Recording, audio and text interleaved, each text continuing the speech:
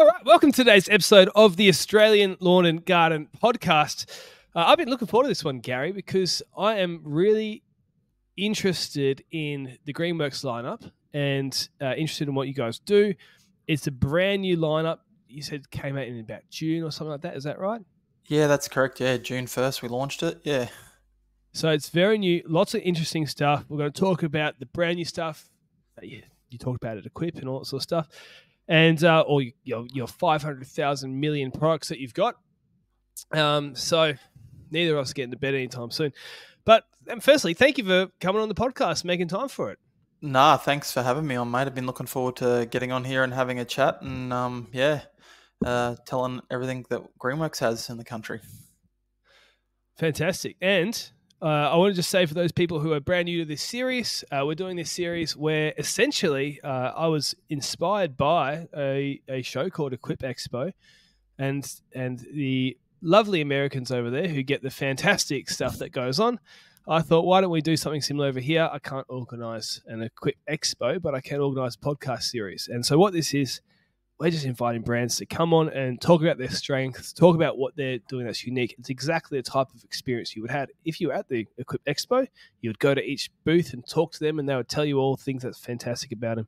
And we just want to give everyone an opportunity for that. And I'm curious, and I want to learn. Uh, I'm not a gearhead, but I love.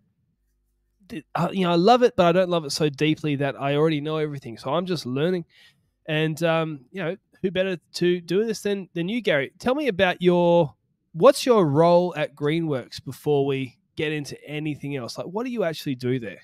Uh, so my role is key accounts manager, um, but I mainly, uh, with the help of our team and uh, our other key accounts manager, look after our commercial division. That's been the focus for uh, the last little while, um, but also the whole Greenworks uh, operation in Australia uh, in general. Um, but yeah, as I mentioned, the key focus in the last 12 months has been uh, the commercial line that we launched. So, and you were telling me off air that your your history in the industry is is 20 something years. You know, yeah. So yeah. What, what what were you doing before? Because Greenworks is new to Australia. They've been around in America for a lot a lot longer. But what were you doing before all this? Uh, pre Greenworks, um, and we're distributed by Jackmax in Australia. Um, I actually worked in a in a mower dealership, so my family owned a dealership in southeast Queensland. Um, so worked there on school holidays when I was at school, and when I was studying after school, I uh, still worked there part time, and then sort of took a break and started full time there. Did a mechanic apprenticeship, um, and worked in all facets of the business. Assembling, working the counter, washing mowers, uh, and then end up running it and being a part of all that. So, be about 18 months ago, decided I'd sort of, I was probably a bit longer than that. Um, had a bit of enough of uh, yeah. Uh, th- that side of it. And um, yeah, got an opportunity with uh, Jack Max and Greenworks and uh, thought, well, I need to do something. And I know, know a thing or two about mowers in the industry. So, might as well continue on there. Here's a really interesting question. We didn't I didn't think I'd go down this path, but I'm interested to hear what you think because one of the things I've, you know, technology comes in and changes stuff and it disrupts industries. And one of the things that I've thought in the back of my head about it disrupting is the local lawnmower shop mm-hmm. because so much of that work that they do is repairing petrol engines, combustion engines. And one of the benefits of battery gear um, is that it's incredibly low maintenance and it's kind of you know depending on the, on the different brand, but you kind of got one moving part essentially, uh, or depending on the um, product you, are talking about. But the the motor itself, or the you know the engine, whatever you call it, no, it's a battery motor petrol engine. Yeah, but it's simple and it doesn't require as much stuff. So how do you feel? Do you feel like it's a little bit of you is sentimental towards the mower shops that eventually, if battery does progress like everybody predicts, will you know slow down and, and kind of lose business? I definitely do. Um, most uh, mower shop staff or dealers will definitely know that the industry and us as a whole and the whole industry know where the industry's headed and where it's changing. Um, I think as a shop or, or an owner, uh, you have to change with the industry and where, where it is heading. Um, like you mentioned, there is um, one of the key benefits of battery, um, and I'm sure we'll delve into this with our range as well later, is that there is a lot less maintenance and a lot less moving parts in the units, but um, there is still repairs and servicing to be done. Um, I know with uh, some of our bigger products, obviously, we still need a service department to be able to look after that. So um, there is a bit of a sentimental thing that eventually um, I can't see Australia, but I, I could be wrong here, um, going down the California path of no petrol eventually. But yeah, yeah, I could be proved wrong. I do believe there is probably one or two states that will possibly go down that path eventually, but we do follow the US trends in our industry and country essentially. But I think uh, for a, for a workshop or a service department side, the um, the guys in there need to just keep um, upskilling and keeping on top of the the technological advances, um, and some of it's moving at a pretty rapid rate too, which can be a bit scary yeah. for some some people that have been in the in the game a long time. So. Yeah, yeah. I feel like with, uh, you know, when I first, like, this is like with robot mowers, right? Um, when I first started hearing about robot mowers, which was you know, eight, nine years ago or something like that, the um, local dealership near me was stocking some when they first were coming to Australia. I remember feeling this fear you know, oh no, like you know, this is my job, and and these robot mowers, you know, whilst right, right now they they can't do what I do, but what if they do one day? And I was, I, I, my my opinion's changed because since growing a business and trying to find employees, it is so hard to find good gardening employees. It but is. what I find in the small mechanic industry, I haven't met a business owner in that neck of the woods who's like oh yeah, yeah, we're fully staffed. Like I don't even like I, I can't remember a time where it's not just that it's hard to find employees in that neck of the woods. Like nobody is fully staffed, or if they are fully staffed, they kind of, you know, like yeah, I want to be respectful, but maybe they're not yeah. entirely happy with everybody on their team. You know what I mean? Oh, like it's I do. Um, yeah, and you tell in, me about your experiences. Ah, oh, definitely. One of the number one um, problems in the uh, for a mower a mower dealership is finding uh, good staff that have knowledge of the industry because your counter guy is a person that's not just at the front of mum and dad, but um, all your commercial operators. So they're the face of everything. So if you don't have a skilled staff person out there, uh, then you're um, fighting an uphill battle uh, with uh, industry people coming in and wanting to have information given to them straight away. Uh, But then in the back of the shop, uh, small engine mechanics are as rare as hen's teeth. Um, there's oh, plenty of the guys that, yeah, there are plenty of guys that say they can, or people think, oh, it's just changing the oil or this or that. But to yeah. actually um, diagnose a two-stroke engine, which is probably the more harder than a, than a four-stroke, in my humble opinion, um, well, you would know. correctly and yeah, um, and fix it. Um, it takes a lot of uh, years and a lot of um, knowledge to do that. And also, um, it's not like if you're working, say, if you're a mechanic at a Stihl shop, you're going to do predominantly a lot of Stihl product or Husky yep. or or Shindai or any of that. Yeah. Um, but you're still going to get a mixture of most other stuff. If you're a mechanic at Toyota and you just do Toyota, that's all you're ever doing. So yes, a small yeah. engine mechanic has to have their scope has to be quite varied. Um, I really think a problem in that industry, and I saw it, um, was when I was doing my trade. I was 22. I start I started because it was mature. Um, just a lot of the young blokes when the money wasn't there. Like no, I think yeah, my first exactly. my first week, like every apprentice, but I think I was on 140 bucks a week, and that was in 2004. So, um, a lot of friends of mine that I met through TAFE when I started, they got to their third year and went and did jet skis or went and did heavy diesel because you're getting even when you finish, you're getting double the money. money. Yeah, I had a um, shop owner tell me that um, he had a guy.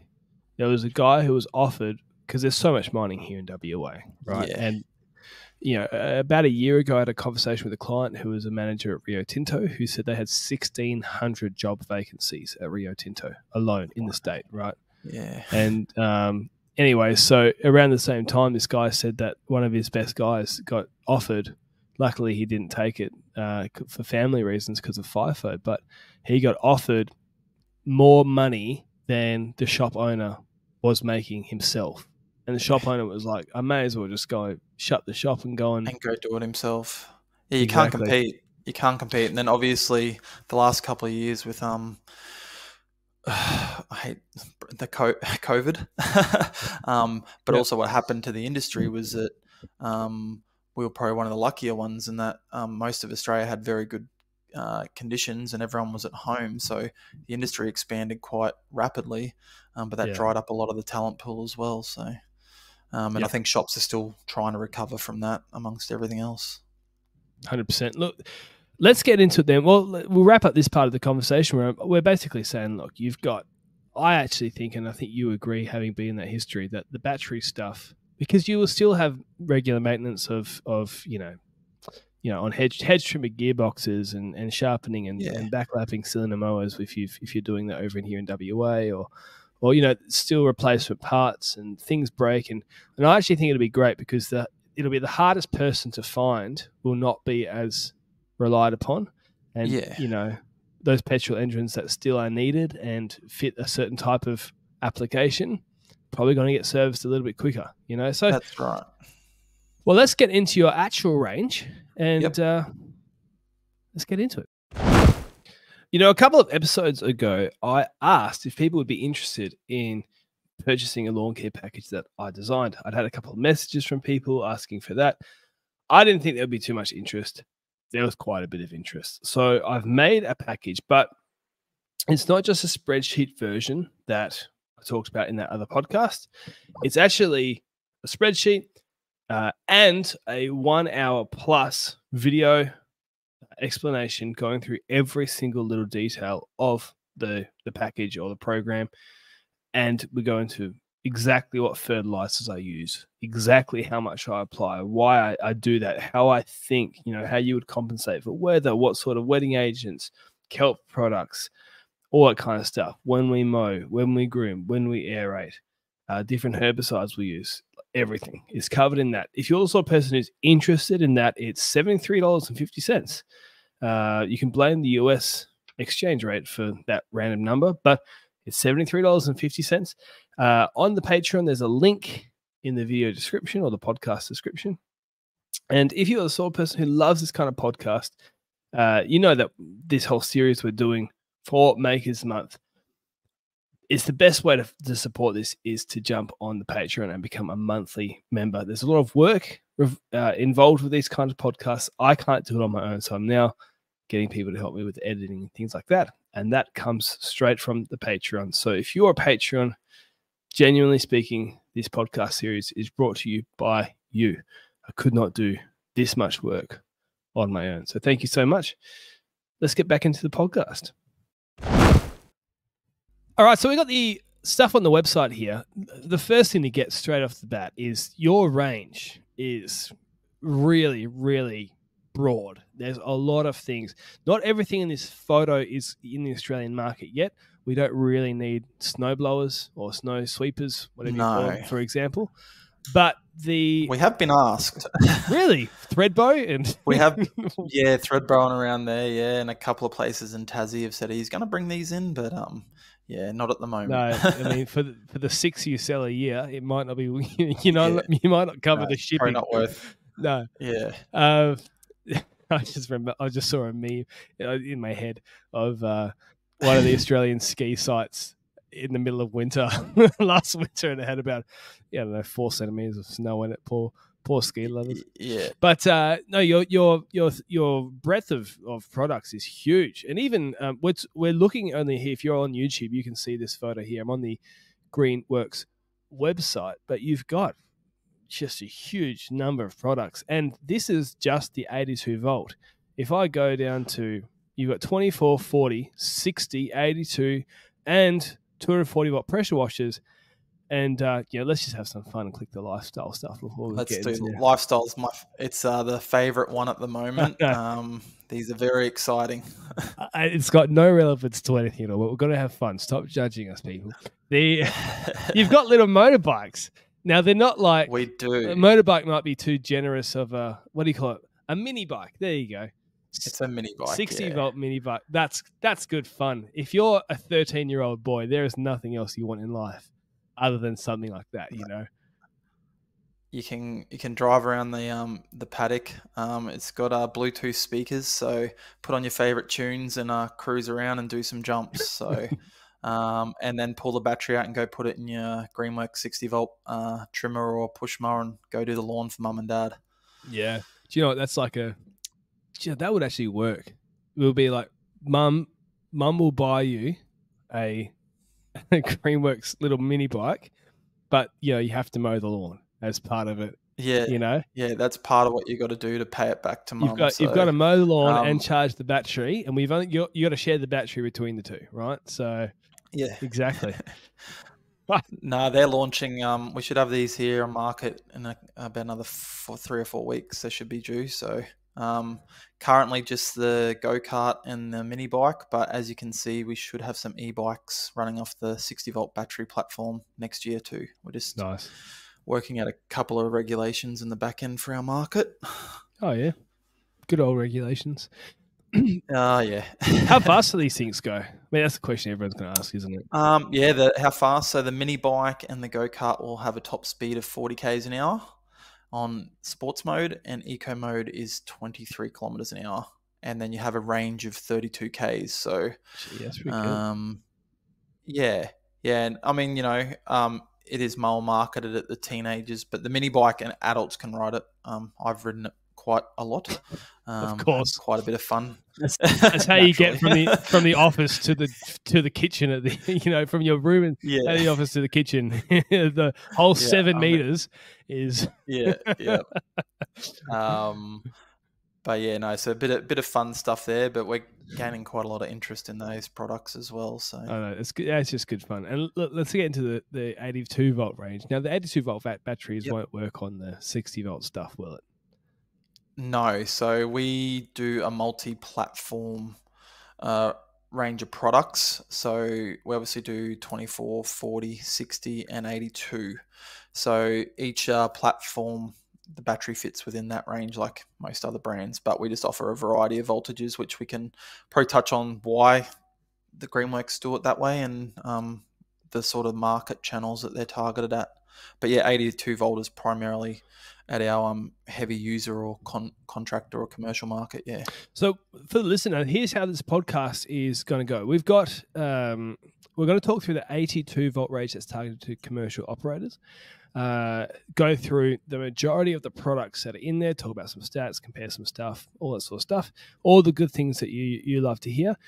Uh, depending on how we go for time, we will touch on some of the 60 volt stuff. And there's even one or two 40 volt things that I think could be used in certain circumstances for some of you uh, well, definitely for the hobbyists out there, but even some commercial stuff uh, might be of use if you know certain conditions might um, you know be favourable. But what we've got here, let's just get into this 82 volt range. You've got. I'm going to describe what I'm seeing for those listening. There is what I've known as a gator, even that's the John Deere terminology for it, but like a, a four wheel drive mini Ute, mini sort of golf cart kind of looking thing. Yeah. People- U- UTV side by side. Yeah. Right. Okay. So that's what people use for like maintaining large properties. Right. Lots of um, you know uses for that if you're doing commercial stuff or you've got an acreage property. You've got Acreage. yeah three sit down uh, classic Z uh, like zero turn mowers, four stand on mowers here, a whole range of like an a, you know whippersnippers, chainsaws, hedge trimmers, three different 82 volt mowers at different sizes, battery charging packs, you know, pressure cleaners, rotary hose, all kind of stuff, augers, huge range. I don't see there's much here that somebody couldn't or, or would need that isn't being supplied. I'm guessing that's kind of what you were trying to achieve, like a full platform commercial operator can get everything in one space. hundred percent. Yeah. Um, I might be a bit biased, but I think we have probably the broadest range of battery commercial uh, product on the market uh, currently. Um, and if someone wants to move their whole fleet from uh, our traditional uh, petrol to full battery, then we definitely provide the solution. Like you said, from a, a trimmer, a blower, a chainsaw, push mower, um, stand-on mower, ZTR, if you've got a side by side or a, a Gator work you in your in your in your um fleet, then yeah, we we offer the full range um in battery. Is there anything that you now? You might. I don't want to upset you with your bosses over in America, but is there anything that is like because the Americans are getting because we talk about the snowblower, right? But whether in any range, yep. in any range, twenty four volt up to the eighty two, is there anything that you really wish was over in Australia that you're kind of pushing to get over here? Um, there's a few things. Uh, the big trailer on the background of that image is something that we're um, just trying to get to. Is that that's actually what we call our? Is that something Optimus, you sell? Uh, yeah, in America, yeah, they, it's called a mobile charging uh, or mobile power station. So ah. uh, if you see the image on that, it's a rendered image in that, but you can fit your two standards or a ZTR and all your handheld, and the bench at the front there has two six port uh, dual uh, chargers yeah. plus solar plus uh, charging. Yeah, they, right. they're your wall chargers for your bigger units. So um, we definitely uh, will have that That's pretty at some cool. stage. That's only going to be for select uh, customers, but um, that'll cost like oh, there's, there's, three or four Zinger boxes, wouldn't it? yeah. Maybe five. Be a couple. Yeah, there'd be a couple. But um, one of the big things which uh, we all know is people, um, operators want wanting, oh, how many batteries do I need to get through a day, or yeah. how am I going to charge it? Well, that's um, you know, I can go to the servo. Well, that's pretty well your power station on wheels, and then at the end of the day, you just plug it and it t- plug it plug it in, and it tops itself back up. So yeah, uh, um, that's that's a big thing for us to try and get here eventually. One of the things that I, uh, I sort of realized, I mean, interesting, um because battery is essentially you're getting a down payment for, uh, you know, a long run time because you don't have to keep filling up on fuel. So the cost of the electricity, and this is across all brands, obviously, the cost of the electricity is much cheaper than the cost of the petrol. And so, you know, over it's different brands, it's different, right? But it might be, you know, obviously depends how much you use it as well, but a year or a year and a half, two years, three years. Is that kind of what you get for a payoff time with? Pretty much, yeah. So return on investment is a big, big question that we get asked regularly, pretty well on a daily basis, either through yeah, our dealer network or through Facebook or emails to our support office. Um, it probably comes more into play on some of those bigger dollar items mm-hmm. like the stand on and the ZTR, yep. and that's where it shows the uh, the bigger uh, return as well. But it's not to be said that a return on investment on even your trimmer or your push mower that isn't isn't isn't there as well.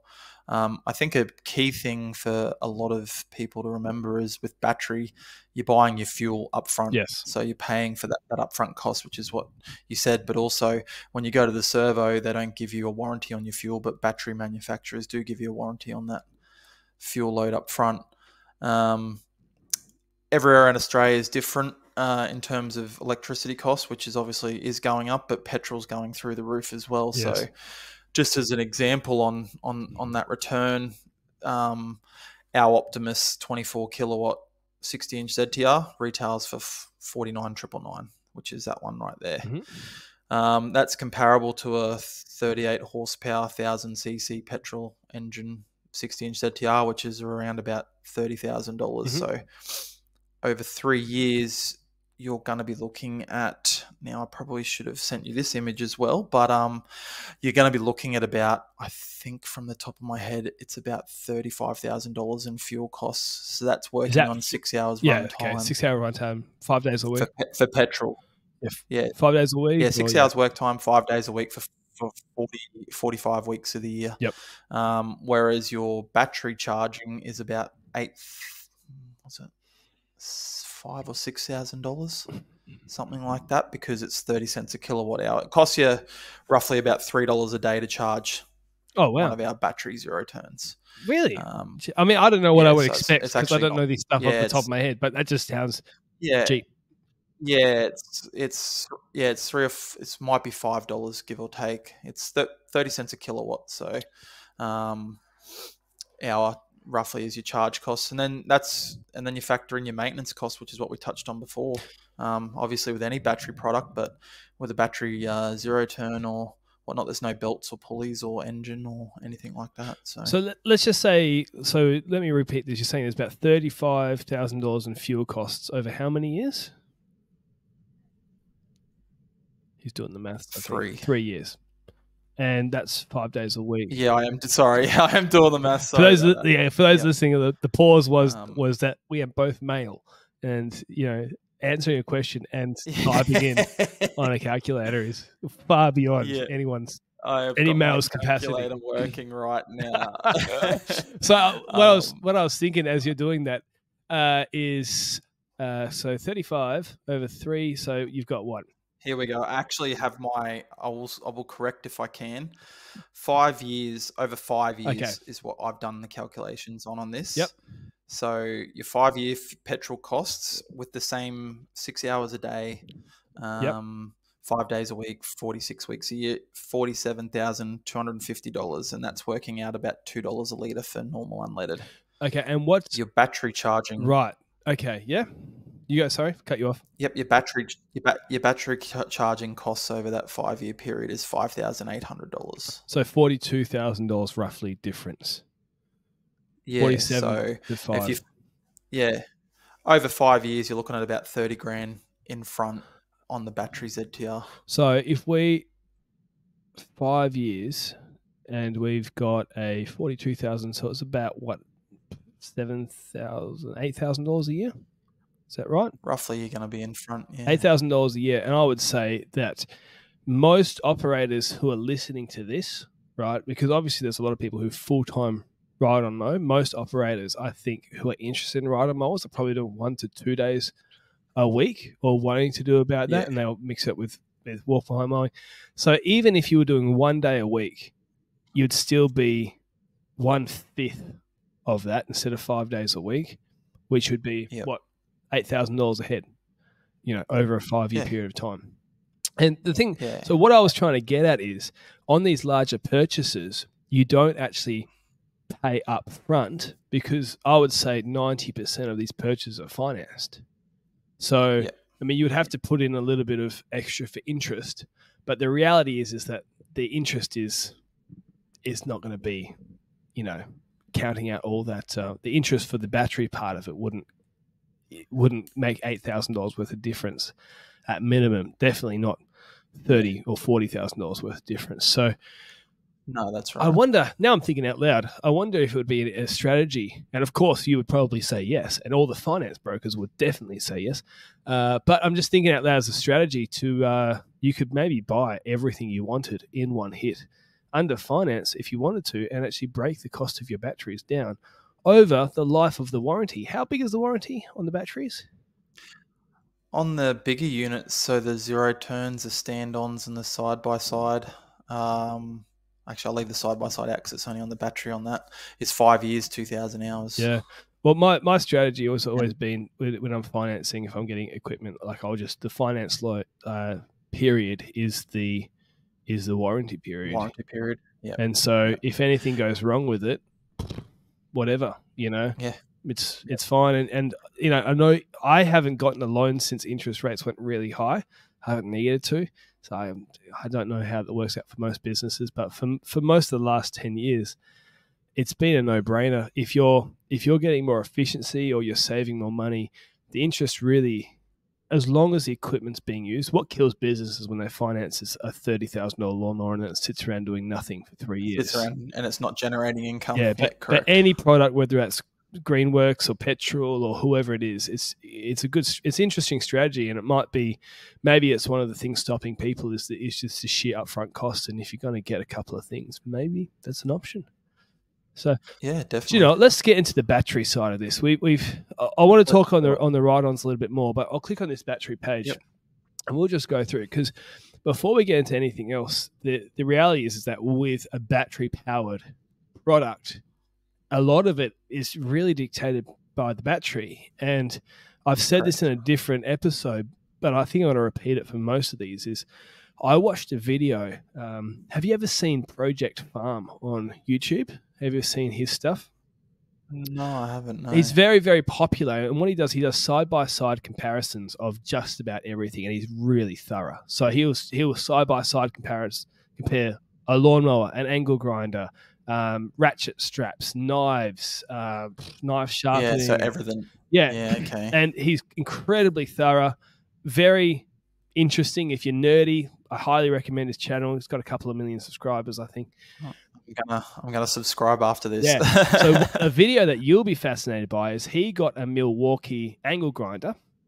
Being a competitor of yours, I hope you forgive me for bringing up a different brand, but um, no, that's okay. he got a Milwaukee angle grinder and he got three or four rip-off Milwaukee batteries and put them in the same angle grinder and ran them and compared what the how the rip-off batteries performed to how the genuine batteries performed. I was shocked at how bad some of these rip-off. I thought it would be like a ten percent or twenty percent difference, and some of the rip-off batteries did like made the higher quality uh, angle grinder look like an absolute piece of rubbish. And I didn't because they didn't. yeah. because I don't know what it was, the technology in it or the battery cells or whatever they were doing. So what are you doing in your battery? Because the point I'm trying to get across is is you can have the same motor and like like in this video and two different qualities of batteries uh, and different results. So what are you doing with your batteries that you're proud of? That's unique. That's that's worth bringing up and talking about. Yep. No. Um. So I think a key thing for us with Greenworks is that we manufacture eighty percent of our uh, product all in house, so we don't outsource anything, and that includes our battery technology as well. So um, everyone, that's probably a big space where there is a lot of uh, progression, especially recent times with with battery technology. Um, we've been doing batteries since 2004, so I'd like to think that Greenworks we've definitely got our um, our technology right. Uh, we do have some exciting stuff. We mentioned with Equip earlier, there is some exciting stuff from us coming in the short term, but currently, while we're on 82 volt in this range, we do a in Australia we only bring in the four and the eight amp hour batteries. So, yeah, yeah. um, over over in the US they do have a five amp hour and I think a two and a half, but we don't see the need to have a four or five and an eight in our market. Yeah, Um, and two two and a half for a commercial operator is not. I mean, for for a hedge trimmer Yes, possibly, yeah. but that's about it. well, yeah, and Um, that's mainly due to weight. Yes, and what is the weight of? Um, you know, okay, look, we talked about this before. The reality is, is that nobody knows what their whippersnipper weighs unless you are a psychopath, right? Sorry, people who actually know. I'm not serious, but you know, like, Someone someone's going right now. It's five point seven kilos. yeah, five point seven two. Thank you very much.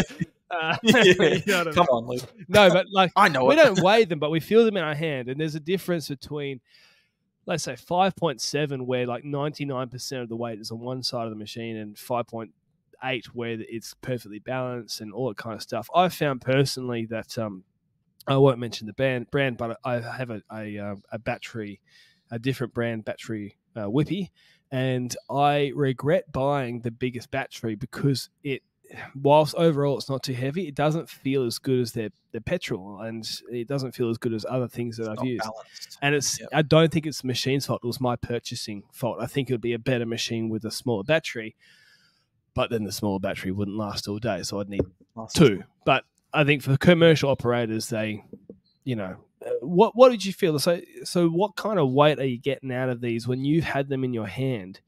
The subjective feel you have is is a four amp hour um, kind of the go to, or the eight amp hours pretty light and it's actually a really versatile thing. Um, Oh, definitely for hand tools. I would definitely recommend to anyone the four amp hour. Right.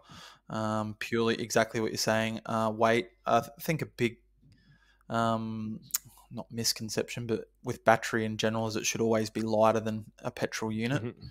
Um, the biggest thing with batteries is runtime and the weight of the battery, and that's where a lot of technology is coming into um, our marketplace as well. In terms of uh, instead of using cells, which is a traditional battery assembly method, we're seeing pouch lithium and uh, card like a credit card type slot style set up to save weight but have more power. So for us, um, all of our hand tools, we always would recommend using a four amp. You could definitely use an eight, but you know you've definitely got the eight amp hour battery on board. You feel it. Uh, yeah. I think from the yeah, definitely. I think from the top of my head, the four amp hour is three point seven kilos. um, and the eight is four point three. I think it's nearly it's nearly another kilo heavier. So Okay, right. um, but obviously, you put an eight amp hour in, you're doubling your runtime on any tool. So that's pretty much um, um, it's a balance. If you if you're happy with the balance of the unit and the weight, then run the bigger one. That's been my theory with uh, my previous career selling battery products of another brand. Yeah. Um, but it, like you said, it comes down to personal preference. We've had some people that think the four's too light in in our trimmer and prefer the eight because they just feel that they like that bit of weight. Yeah, they got bigger biceps Um, than you and me. Those people. Yeah, I'm not. I'm not pressing what they are. I'm, I'm lacking Um, my creatine in my diet. Uh, yeah. do do you guys? Uh, obviously, at the shop, you can put them in and try them, right? So you could get a good feel. Yeah. But I'm more talking Yeah, for so we- for the people who um, they're going. A lot of people, you know, you know this. That they go online and they're going to research and do their maths before they go and have a face to face conversation because that can be a little bit awkward if you don't really Yeah. like the product. Um, so, what kind of price are we looking at with the four amp hour and the eight amp hour? And um, So the four amp hour, you're looking at a retail price of four thirty nine, and then the eight amp hour, sorry, four forty nine, and the eight amp hour is seven thirty nine. so it's better value for money So per amp hour, obviously, to get the bigger one as well. get the bigger one, yeah. Um, the bigger one is obviously more suited to the push mowers. Yes, Um, yep. But if you do want that longer run time uh, in the hand tools, then you are better off value wise going going the eight amp hour.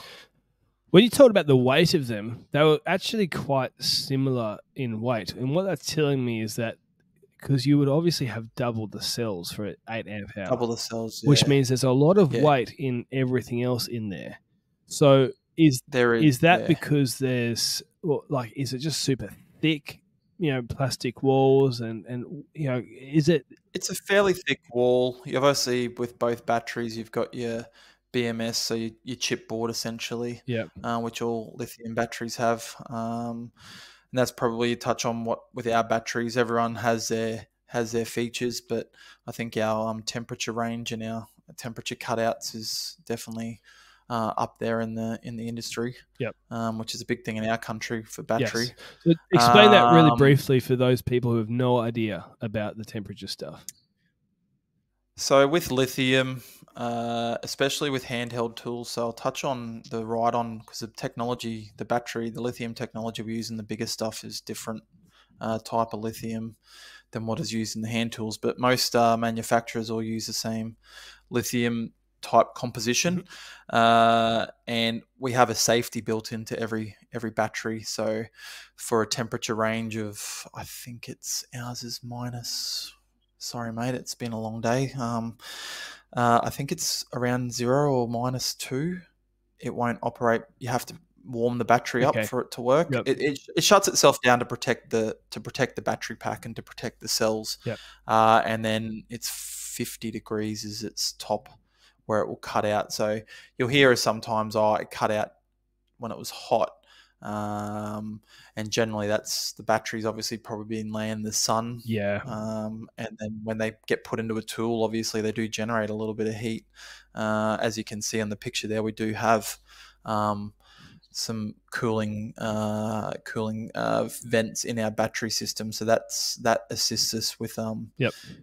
cool trying to get some airflow when it's in the tool, but also when we um, when we charge as well. Our battery charges uh, blow draw air in and blow air over the over the unit to assist in our fairly rapid charging.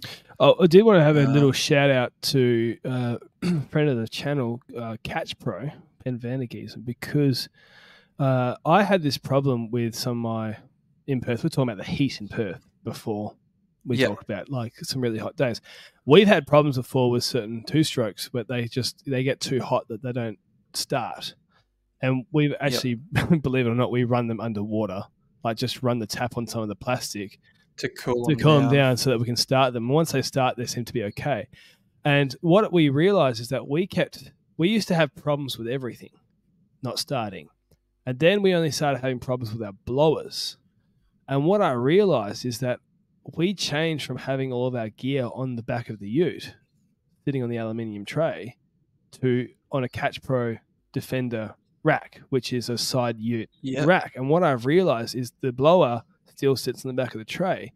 And when we drive between jobs, the wind is rushing straight past these engines, and even if the ambient air temperature is 35 or something like that, just the breeze actually it actually cools them down. I'm like, oh man, it's a side benefit to these racking systems that I never saw before. I haven't had, and that's with two stroke. And so my battery stuff, I'm really quite interested in in how that plays out. I have had um, once or twice the blower actually overheat from the different brand. Uh, which has its own yep. protection mechanisms. So I just thought uh, that's worth saying at least as well for those people who are out there who are considering getting this. That that's kind of that might be a good option if they don't have one of those already to kind of keep things a little bit cooler.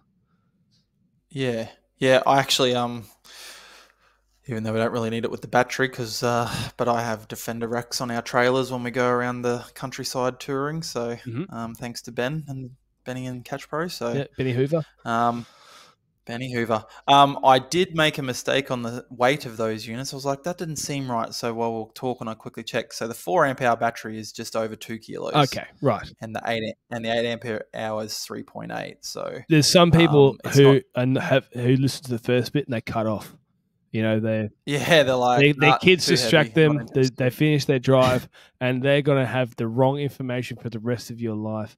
And sorry, guys, exactly. Send me an email. they won't even know. They won't know what they're wrong.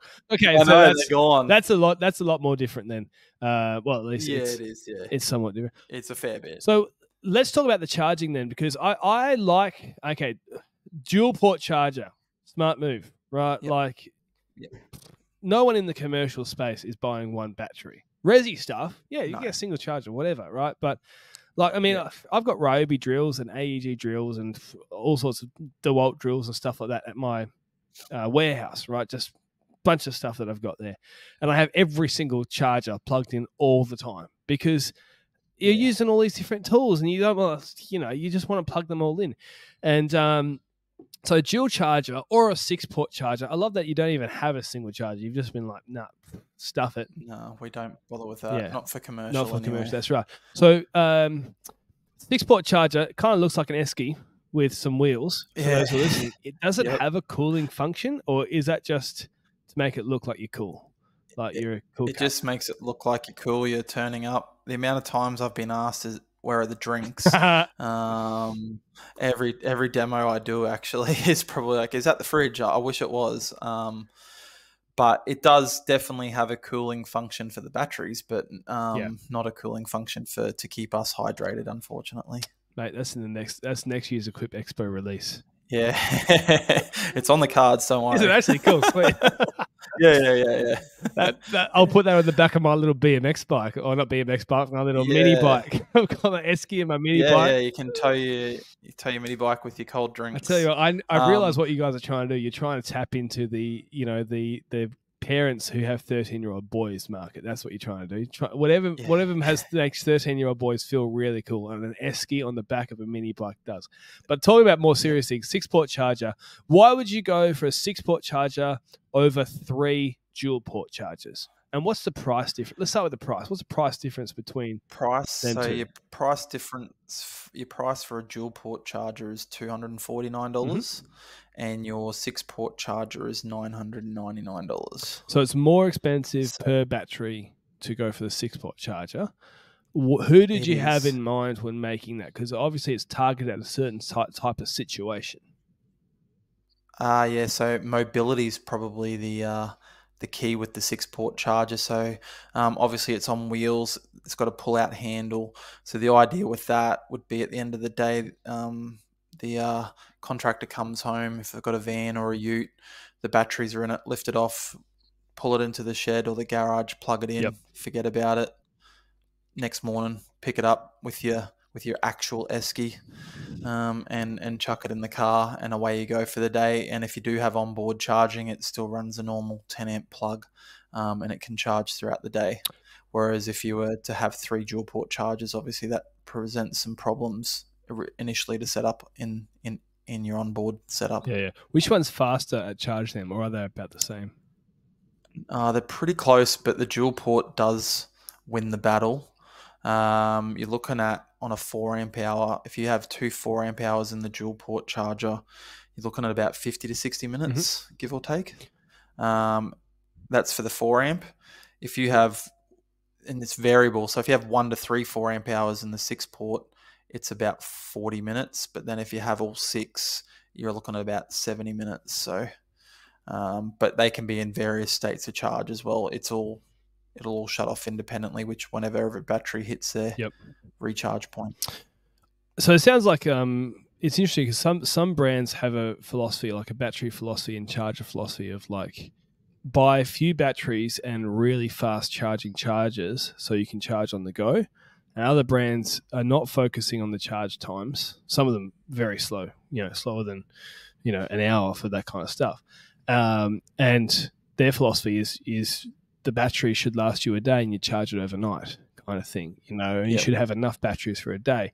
And it's interesting because I kind of work out if you do the maths somewhere similar, like, you know, the chargers end up being so expensive that, you know, you kind of buy more batteries or the batteries end up being so, so expensive, you can kind of just buy the fast charger. So that's just an interesting philosophy that's I've noticed. Yeah, I think um, there's definitely, like I said, there's definitely within the industry and brands, there's two schools of thought. Um, I think it's hard to peg down what works for everyone. Um, I've had some customers through our dealers buy for a push mower six, eight amp hour batteries and then come back and say they've only needed two to get through the whole day. So they're sort of regretting spending that much. I mean, the dealer wasn't, obviously. Of course, yes.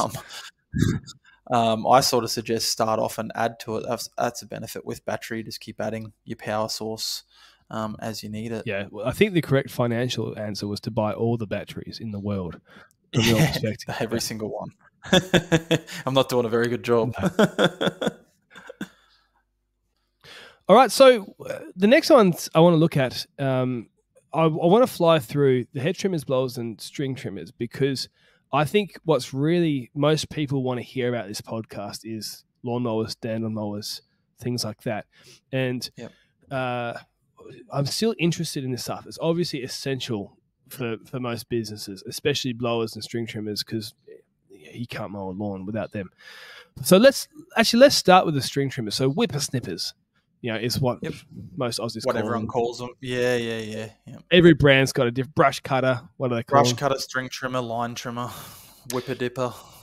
Now, the first thing I want to say that I do like is I like that you have a bladed edger, right? Like some brands, uh, you know, and the tar- every brand's targeted different people, but you know, you've got the range, you know, and it's, you can get all So for- Yeah, for our for our range, we definitely have gone just with purely with dedicated tools. So the string trimmer, the uh, shaft edger, um, and then the you know in the whole range we've got just hedge trimmers. Um, our edger actually is one of the products that um, we didn't launch when we launched in the market, just because it was going in for its generational upgrade. So Right. Yep. I think we touched on how long commercials been overseas for since 2016. So a lot of our hand tools are on their third generation. Some are in their fourth now. So that one will be available early, like Q1 next year, as its upgrade. Uh, we just didn't see a point in bringing it to market with an older gearbox and design. So but Jan, February next next year. is yeah? Feb, February, some February, March, somewhere like that. We should see it here. Um, it's just been finished and into mass production now for the US market and for our market. So. For all intents and purposes, is it a whippersnipper with a different head on, or is it actually quite a different machine? Um, so the motor that drives it's pretty close to what's on our 1.2 kilowatt string trimmer. Yep. Um, but they've done a lot of um, efficiencies in the uh, gearbox, which is uh, runtime performance. Um, Yeah.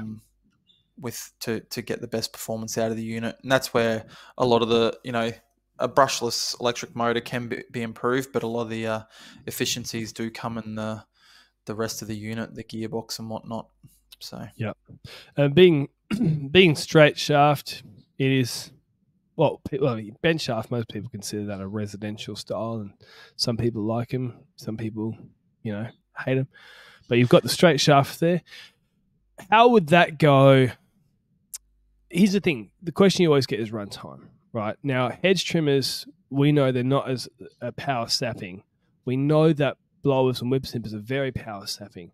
What about an edger though? Because it's kind of one of those things where if you're doing an overgrown job it needs a lot to get through some of these overgrown edges. But then the light stuff, you hardly do anything. It, it, it probably could run for seven weeks or something like that, you know?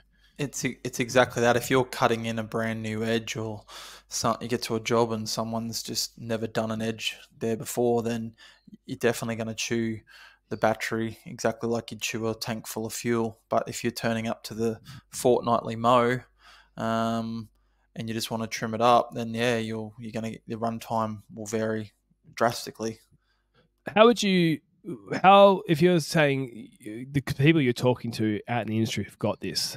how many amp hours do they need to get through a day of regular fortnightly work? With the trimmers? Oh, just with the edger to start with. Oh, the edger we haven't got on market here yet. Oh, that's so. true. Yes, of course. Yeah. What are the Yankees um, saying? Do you know what um, the Americans are saying? No. Yes and no. Obviously, their market and what they do over there is a, a little different. bit different how they cut too. But um, most of the guys on established lawns, like a four amp hour is more than enough if they're doing 10 yeah. to 12 lawns a day. They've got plenty left. So um, it's just that non non established edge is going to chew it up because you're using just so much more energy to drive it. Yeah, and that's the thing I think where most people are interested in with with the battery tech because I think we all understand and respect that that commercial brands are going to be able to do the fortnightly stuff, right? To be fair, some non-commercial brands could probably do the fortnightly stuff. It's more probably how long that machine would last being beaten up in commercial conditions. You know, not necessarily whether they can actually cut the grass or not. But where a commercial thing's really considered commercial in most people's opinion is how it tackles overgrown, beaten up, you know, getting thrown in out of a ute, getting left in the rain. What are the bodies? Let's start with the beaten up side. How are these going to handle sliding around the back of the ute? You know, being dropped. Um, is that something that you test and, and really think about when you're going through that stuff? Yeah, definitely. And this is something that um, I'm glad you brought up because something we feel very passionate about at Greenworks is we didn't just whack a commercial uh, name on on this stuff and throw it out there and say it's suited for the contracting market and the commercial side of the industry. Um, underneath the skin, they're totally different. To, I mean, we got plenty of guys, and we touched on it with the 60 volt stuff. Plenty of commercial users in that range, mm-hmm. um, but the, eight, the 82 volt stuff is factory tested for a thousand plus hours for all the moving componentry on the hand tools. Um, magnesium gearboxes on the hedge trimmers and the bottom of our chainsaws, and um, quite a few other products that are coming in the pipeline, but also the designed. Uh, most of the hand tools are either IPX4 or IPX5. Majority is still IPX4 in the current generation, but the new upgrades will be IPX5, which is you can pretty. I don't suggest this, but you could put it underwater if you wanted. Um, is that with the battery in or battery out? Oh, that'd be the the gearbox head or the power head. I I couldn't tell you exactly from the top of my head. I I wouldn't do it anyway. I'm a bit old school still like that. Even if they said it could be done, I probably wouldn't do it.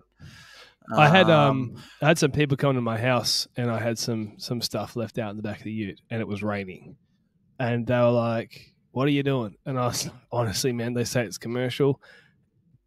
You know, and yeah, I'm gonna take it if it's heavy, heavy rain, but I'm just like I just Yeah. I kind of feel like I don't maybe I'm a bit dumb for doing this, but I'm like, man, it, sh- it should be able to handle a light shower.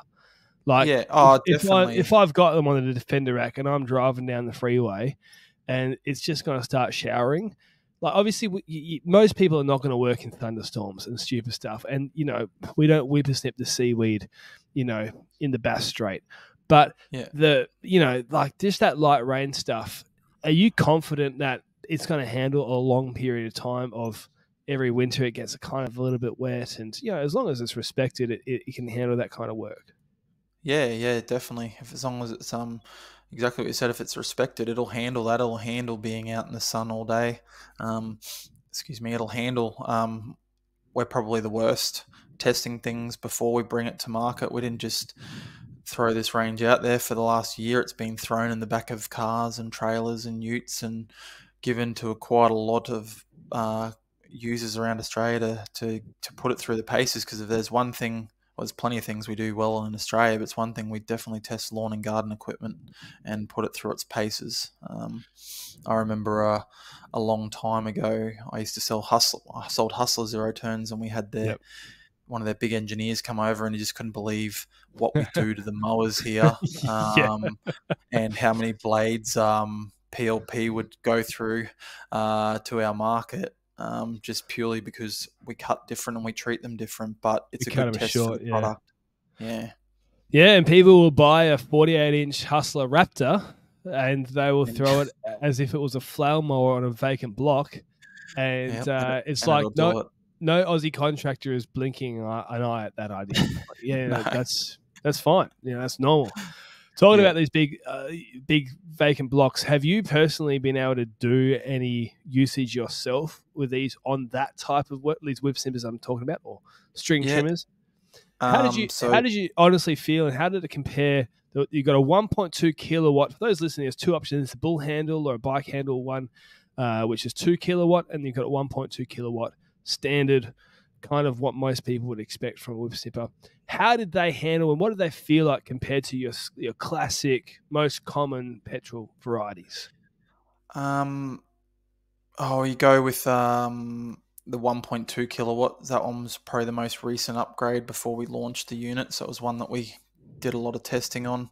Power to weight wise, that unit, um, even though the 2 kilowatts got more power, the 1.2 definitely has better power to weight and RPM out of the head. So that's one I've tested pretty thoroughly. Um, Mhm. The uh, the um, time honored T230, T260, um, or or or a Stihl um, FS 85 or a 94. Um, it definitely is probably on par or better, more power than those. I I, I believe anyway. Um, those other petrol products are something I've had a fair bit to do with in my previous time in the industry. Um, our 1.2 kilowatts got a 6,000 RPM head speed, so it definitely spins um, spins at a rapid rate. Uh, we use a air air um we a fan cooled shaft, so it actually blows cool air down the shaft to cool the uh, the motor at the bottom. So a lot of problem you do here sometimes with battery uh, trimmers and especially with the motor down at the bottom is they get hot. Um, so with this generation, Greenworks put a little cooling fan, so it actually cools Nice. it while it's operating as well, as well as a little fan underneath the gearbox as well. So, uh, but yeah, performance wise, uh, we use a very narrow guard. Um, pretty sure it's a 16 inch diameter. Sorry, I don't know all the specs. They are all up there, but um, uh, so we don't um, really see the need for um, anyone to have to remove the guard. We use a as narrow as possible um, to give the widest uh, cutting uh, diameter, but also the best vision as well when you're doing your edging. So Yeah. Well, some people are going to take it off anyway. We all know that. they will. It's we we know it's going to happen, um, but we try to alleviate it where we can. Uh, the bull, the bulb bar or the bike handle one, that one is a, is a beast of a unit. Um, uh, both have variable speed triggers. Uh, that one's a bit slower on the RPM. I think it's only around the 5500. Um, it will get upgraded at some stage, but um, obviously most guys in the kit, like you said, will always have a loop handle. Not too many um, Mhm. see the need the the bike handle uh, sales. I think even in in the consumer part, I know it was for myself and a lot of dealers. Loop handles sort of dominate the sales these days. Yeah, of course.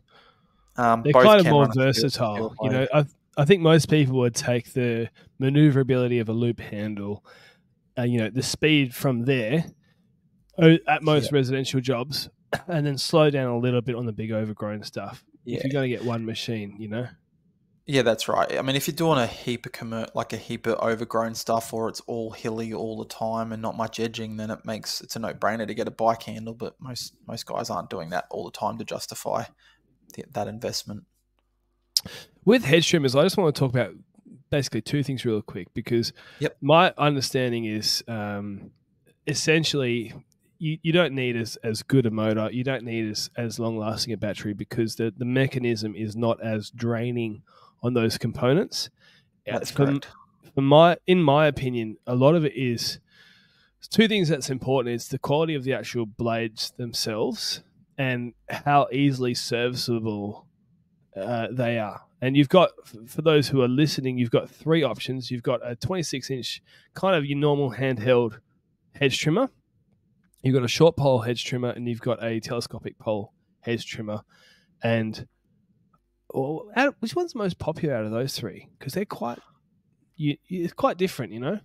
All quite different. Um, so the dedic, there is a fourth one that'll be on the market Ooh. next year, which will be so our dedic- current dedicated or handheld hedge trimmer runs off a corded system. So uh, the market's fifty percent people hate cords and backpack batteries, and Mhm. 50 percent want that. So um, our battery on board uh, hedge trimmer will be very similar to that unit, just with the battery on board. But Mhm. that was going in for an upgrade just before we launched, so we haven't got that on market yet. But currently, the sell through we're seeing has predominantly actually been the corded hedge trimmer, um, the dedicated Right. there, and then we've only just had the telescopic one come on in the last month and a Sure. half. So Okay. um, telescopic one, we're definitely getting a lot of feedback, being that it's articulated in the head. Um, and that's probably feedback we've had. Our short pole hedge trimmer, it's a fixed gearbox. So Right. um, we have been asked to see if we can get articulation added to that unit. Right, and uh, yeah, that kind of stuff is really good with tall hedges, getting the top whilst you're standing. Yeah. All three units all run 4,300 strokes per minute, so a very high uh, blade speed, very high quality double sided blades, um, magnesium gearboxes, greasable, uh, so it touches on that maintenance as well. Um, just on that maintenance and spare parts, you know, they're all driven by a cam gear inside, so they're all replaceable as well. So, Do um, the so do the hedge trimmers? You might have just said this, and I was missing because I was thinking about something else. But the uh, are the blades the same across the three of them?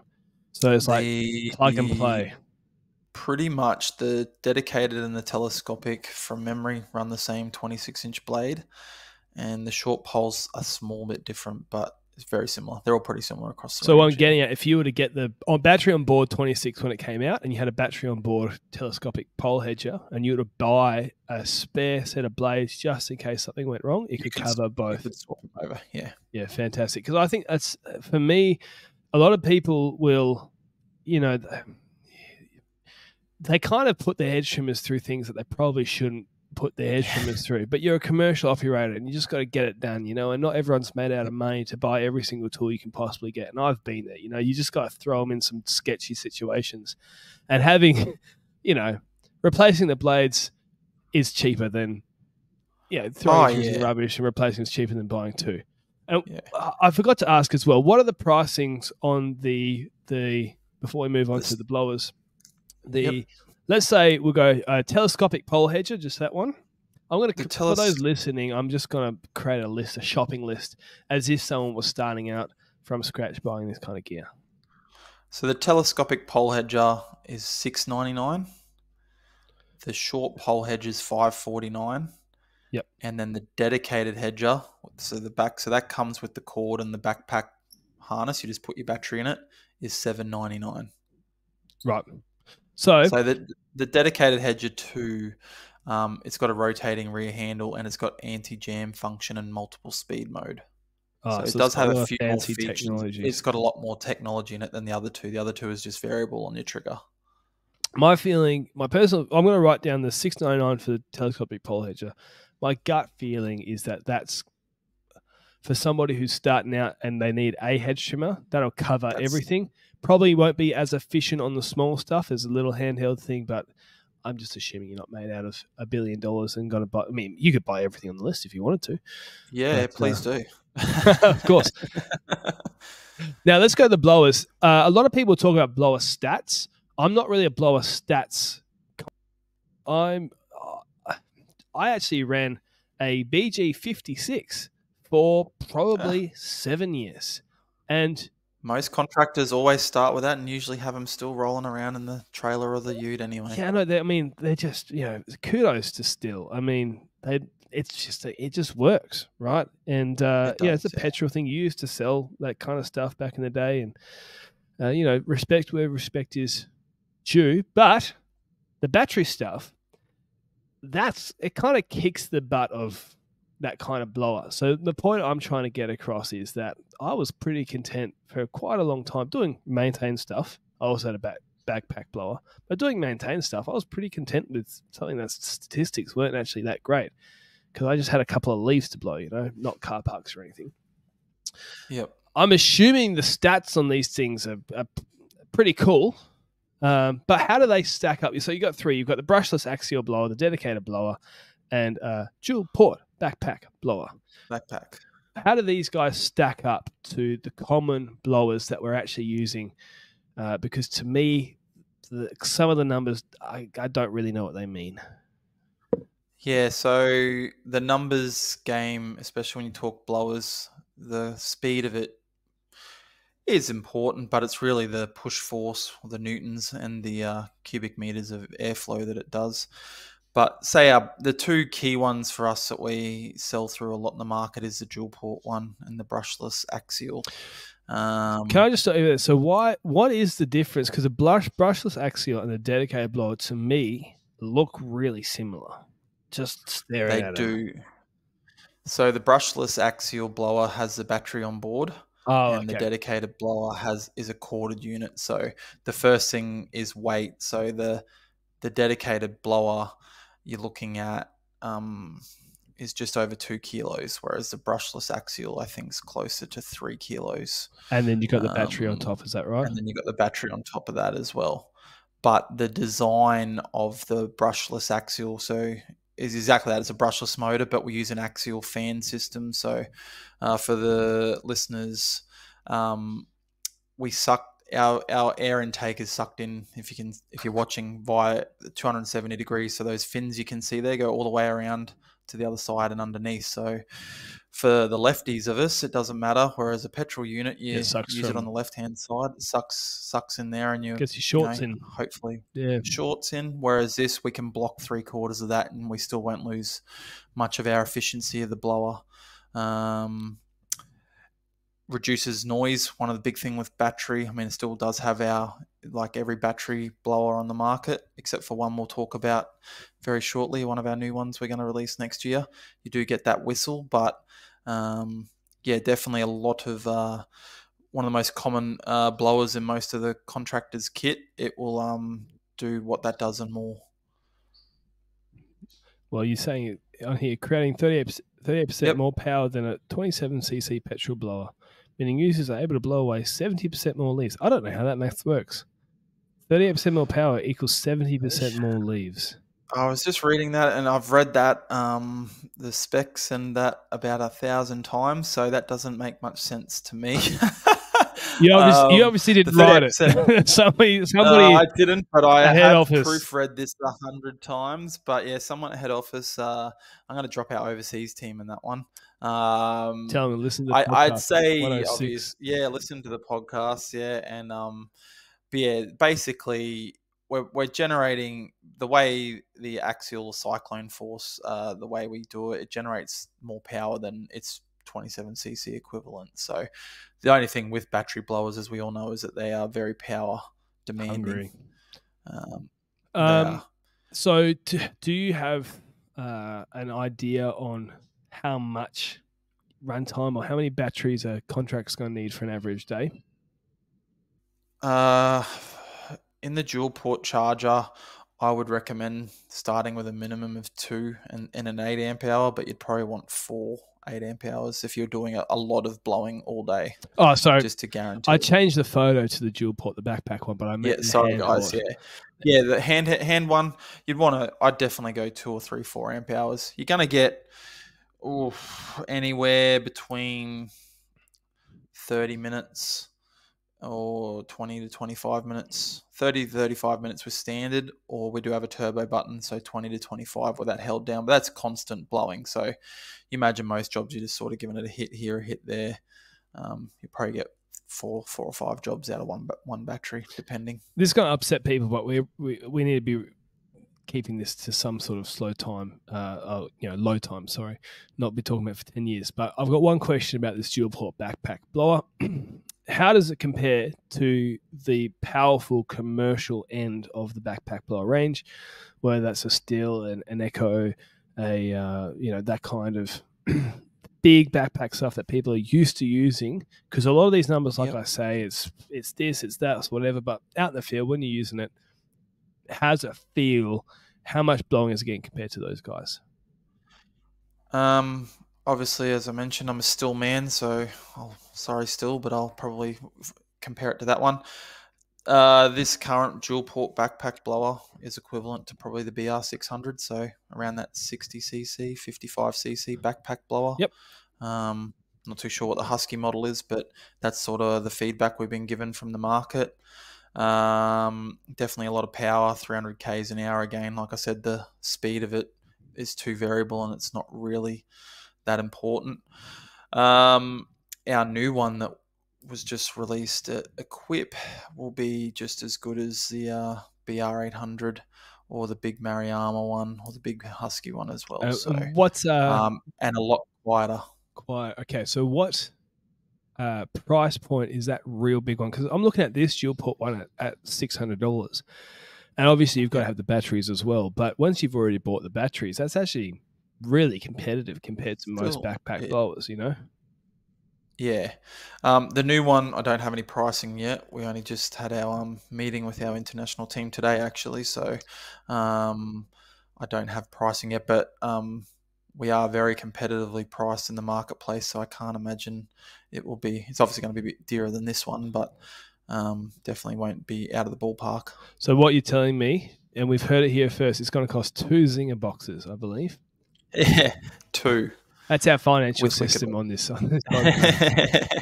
I didn't ask you the price point of the string trimmers and the um, uh, No, no. So let's touch on the edger as well. So um, the string trimmer. So we most of our tools we sell uh, in skin, and you buy the battery and charger just because um, everyone's going to have a different setup, and if we sell it in kits, you're going to end up with having so many charges. and yes, yes. we offer obviously solutions for that. So, but with the 1.2 kilowatt string trimmer, we figure most people, if they're starting, are probably going to dabble with a string trimmer to add to their fleet. So, the skin on that one is 4.99.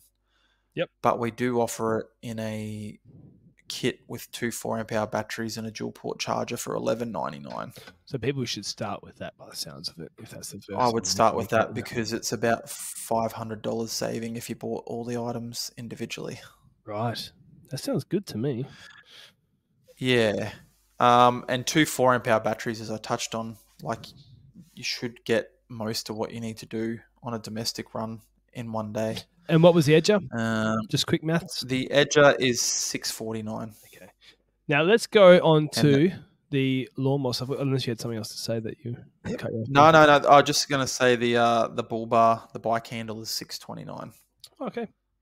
So when we look at the lawnmowers, I like that you've got three different sizes because I think a lot of people have obviously the 21 inch self propelled is very safe for a business to do. It's risky to put out a 25. It's kind of risky to put out a 30 because the market is a lot of the contractors are going to want to buy a machine that is most usable, right? And some people will go out and get the bigger ones. But, you know, it's real interesting to have those options and to think about them. Um, what kind of power difference are you getting between the three of them? Is it simply that, like, for example, they've got the same kind of motor, but just bigger decks, or is that uh, is the motor designed or or engineered specifically for that machine? Uh yeah, no, between the three they're all pretty different motors on on the unit. So um the 21 inch is obviously um, designed for most people have that 21 inch mower uh, in in their kit. So that one there uses a 2000 watt motor uh, from memory, so it's about 160 c. Sorry, 3.4 kilowatt brushless. Sorry, mate, my specs are all over the shop today. I've clicked them up. So- Um, and look, to be to be fair, it is what almost nine o'clock at night where you are right now. it is, yeah. So you've done a full Um, work day and you've come and you've had to deal with my face being on oh, it's it's been I've been looking forward to it all day. So, um, yeah. So the the motor on that one is different to the 25, and then the motor on the 30 inch is vastly different and a hell of a lot more powerful um, than than the, the two those other two. Um, to be honest, we're doing some things. Um, Greenworks are very, very uh, receptive to our marketplace. Mhm. Um, we touched on this in our previous uh, chat before we started that, you know, sometimes we haven't seen as much product that we should for our market, um, or it takes years for a manufacturer to bring it here, Yep.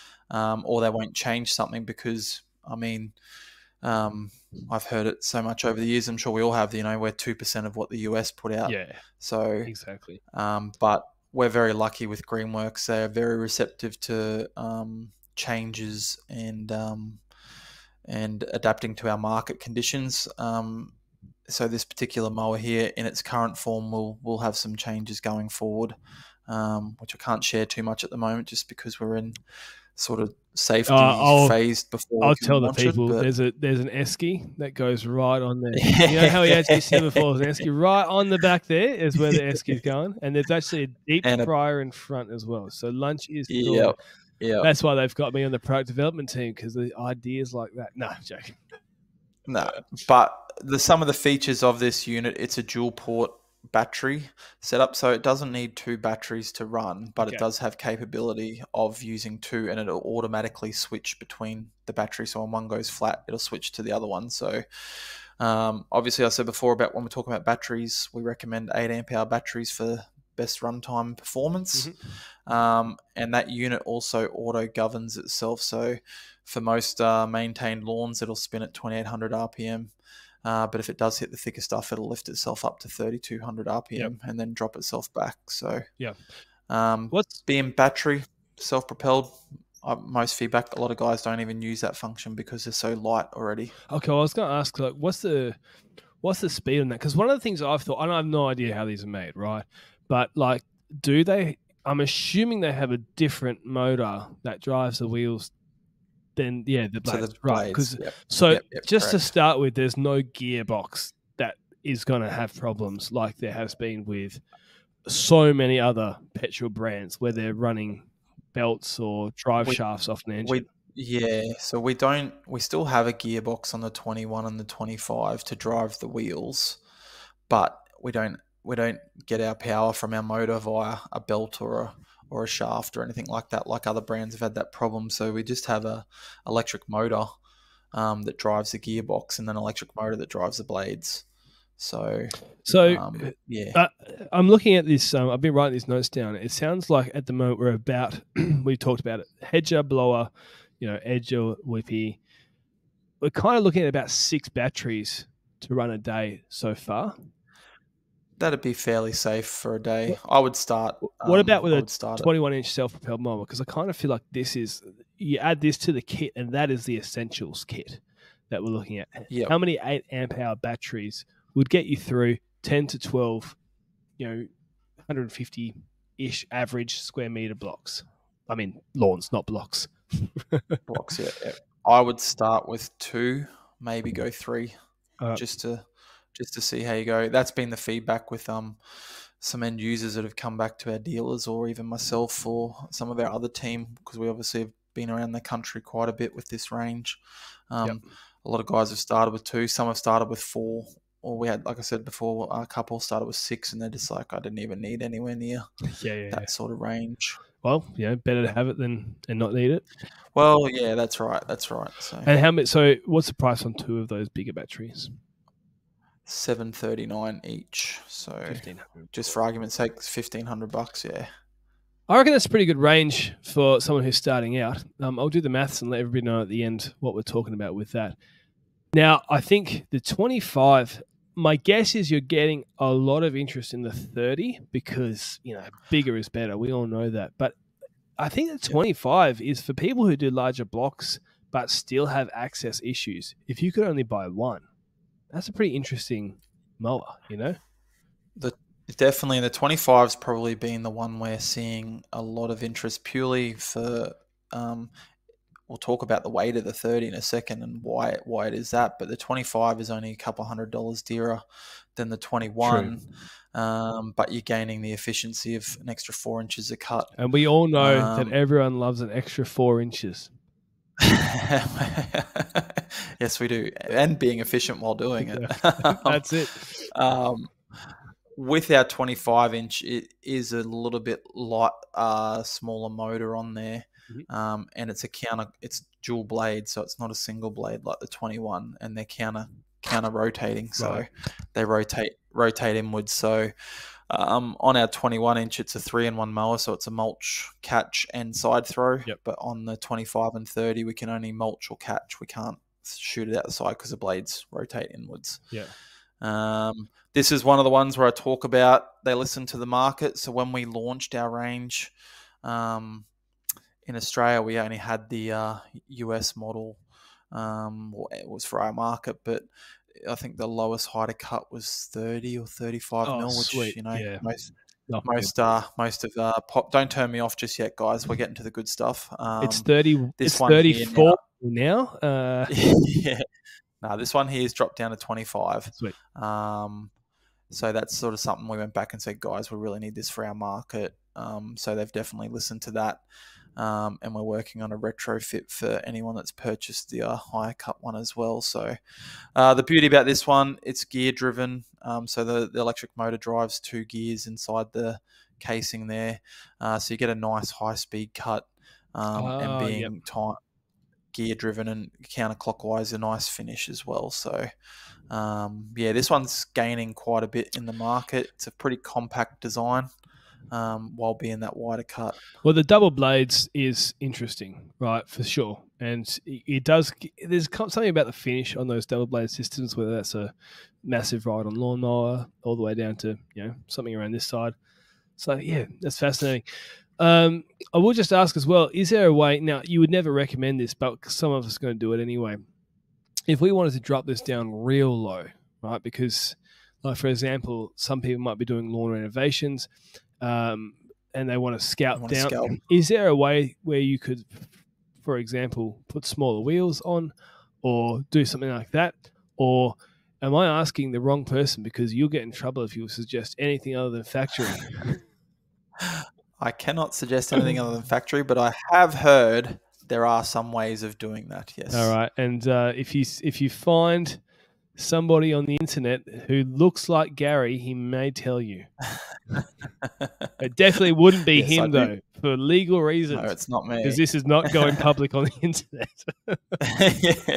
and it won't be there forever and a day. exactly right. Uh, look, it's an hour and twenty in, so look, your bosses are probably not. Yep. nah, he's he's not listening. he doesn't even know I'm doing it. All right, the thirty inch. Now you are right; it's twice the price for five more inches. Yep. Um, it looks like man. What have you got? The space shuttle control panel on the top here. What's going on there? Yeah, so like we, this one is actually action packed, full of feature. Um, So where's the esky? Uh, not there yet, but we could probably fit it on this one. The this unit here is basically a miniature version with technology features of our big Optimus zero turns and our stand on. So we we don't utilize a gearbox or anything at all on this unit. The rear wheels are actually driven by independent hub motors. Oh wow! Um, so each rear wheel has a hub motor on on on the back there, no gearbox. Um, we also utilize uh, blade uh, deck motors, so individual blade motors, rather than um, driven off the electric motor, uh, and they provide up to seventeen and a half thousand feet per minute blade tip speed. So this thing's built to take on the uh, bigger competitors in the 30 inch petrol market, not the uh, the the one that most guys have in their kit.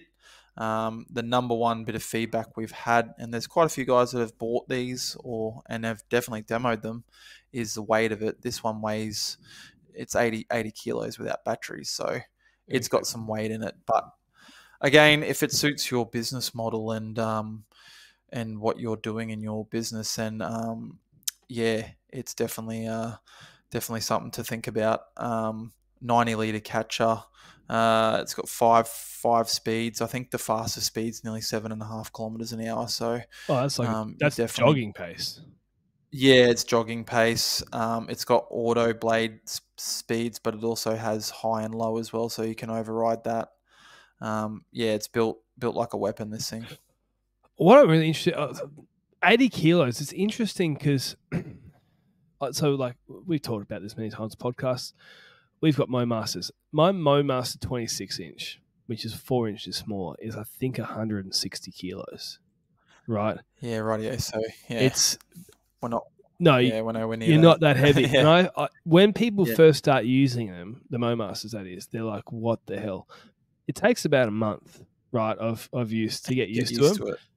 But then there are actually benefits for a cylinder mower with the weight, which is a nice true flat Yeah. cut. It doesn't it doesn't float across the surface and kind of you know let the thatch stay there. It's Yeah, you, you benefit from the weight. Yeah. and I, I, what I'm getting at is is I I don't even notice the weight. I use a 22 inch MoMaster now, which is probably 110 or something like that, right? And it feels fine because I'm so used to the big machines. So I can definitely. I'm just vouching for uh, that. At some point, it's you know, if you're used to a 50 kilogram or so. I think that's what the you know Honda's Bush Rangers The Hondas and that are like 50, 55 kilos. yeah, something, like, that. Yeah, yeah. So if you're if you're used to that, yeah, look, eighty is another you know sixty percent more weight. But if I, I have a feeling that a lot of the WA guys running MEYs, Mo Masters, things like that would probably be like, you know, it's, They'll be like, it's still light, What's that? you know. And you do Yeah. get used to it. I don't know. I've never used this one, but I'm so I can't vouch whether you would get used to this one. I'm just saying that it's one of those things where stats don't tell the whole story. Like I said, if it was 80 kilograms on the front axle, it'd be horrible. You know, eh, Yeah. maybe there's a balance there. I don't know. Yeah, This one in particular, we offer three different height settings on the handle. So if anyone's listening and has a has one of these in their kit, put it on the middle on the middle hole on the rear handle setting there. Yep. Um, that makes it maneuver about eighty percent better than if you go to the the first one. the low one. Um, they're all rubber coated wheels. Um, yeah, it is. It is definitely just a miniature version of of, of a zero turn mower. That's cool. Um, Is that a light bar there? It is a light bar. It does have a light bar, and I don't know why they have this as a feature, but um, it has reverse. Um, and I think our claim was it's one of the only ones in the US they say to have a reverse gearbox function. Um, Yeah, so that and if it you beeps when you go backwards. if you have if you have a stroke and you fall over, you can mow over your own feet. don't sue us. I mean, I mean, look, to be honest, if you if you have a stroke, that's probably a bit strong of a way to put it. Strokes are quite serious. Uh, yeah, sorry, people. Moving on. Um, this is probably what people wanted me to talk about, and I'm sorry, people, it's taken us so long. But look, I hope you've enjoyed it so far. People want to talk about the battery stand-ons, don't they? That's they do. it's They do. it's something sexy about them. I mean, and I mean that from a design standpoint. Like, I mean, obviously, battery stuff is is cool and, and interesting, and but I, I just think it's kind of like I don't know. It, it to me, it looks like something that would have they would have put on Halo, the video game. Yeah, Like it's a kind of like, where are the guns? Uh, The, the light I should green have gone. I should have taken dark one of these to my son's Halloween thing last week. yeah, Damn it. dark green with a bit of camo on it, and I mean, it could it could be the worst mower the world's ever seen. But if you're single, you've got an eighty four percent chance of getting a girlfriend with you know. I'm, I'm not getting paid. I'm just telling you. By the way, I should say Yeah. I, I've been meaning to say this in every intro I'm doing. I'm not charged people. I'm not charging anybody to come on here. By the way, this is not like I just No. yeah, anyways, it's just just a thing. I've been meaning to put that in every single intro, being like, we're not, unlike Equip, we're not charging people to come on. We just want to have a chat. yeah, I, my subjective opinion is they look cool, and yeah, they do. Yeah, yeah, they're um, they're definitely a beast. Our whole um, Optimus Z range, um, is definitely look looks. They look like a tank. Um, uh, I don't want to be that guy, but Optimus is Latin for the best, which is kind of why they named it that. So, um, the team that designed this unit wanted to make the best zero turn mower and stand on mowers on the market. Right. So, um, that's how it sort of got its name. are all of these sizes available right now? So 32, 36, 48, two different types of motors, 52 different type, two different motors, 62 different Yep. types of motors. They are all available. Um, as we all know, our market in Australia for stand-ons is in the smaller Yep. width cut. So the most interest we are getting in what we our stock levels is in that 32 and 36 And market. I totally understand why. Um, I totally yeah. It's just that that's especially over east. We're not there with the widest. It's coming. It's coming. The wider stuff is coming. Um, we keep the 48 on hand, and then the 52 and 60. I think we've got one of each, just for someone that wants wants one. But Yeah, those the 48, 52, and 60s are basically our zero turn mowers, just with a stand on function. Yeah. Um, the compact stuff is exactly what you said. That's where our market is. So let's just go with the big one to start with. 60 inch, 2012 kilowatt motor. What's the price on this? It's probably on the website. I could probably just click it. I've been asking for the price, and then I click Uh, on the links and No, no. So all the handheld stuff we have, uh, for some reason, our web team, and this is something I'll because I have looked at the website that much, like I mentioned, we we don't have the prices on the stand on. So for um, your 24 kilowatt 60 inches, forty eight thousand nine hundred ninety nine dollars. 25. That's the one we got. Yep. So Um, so 48,000. And you were saying before, we've got to give some context because you are buying your fuel up front.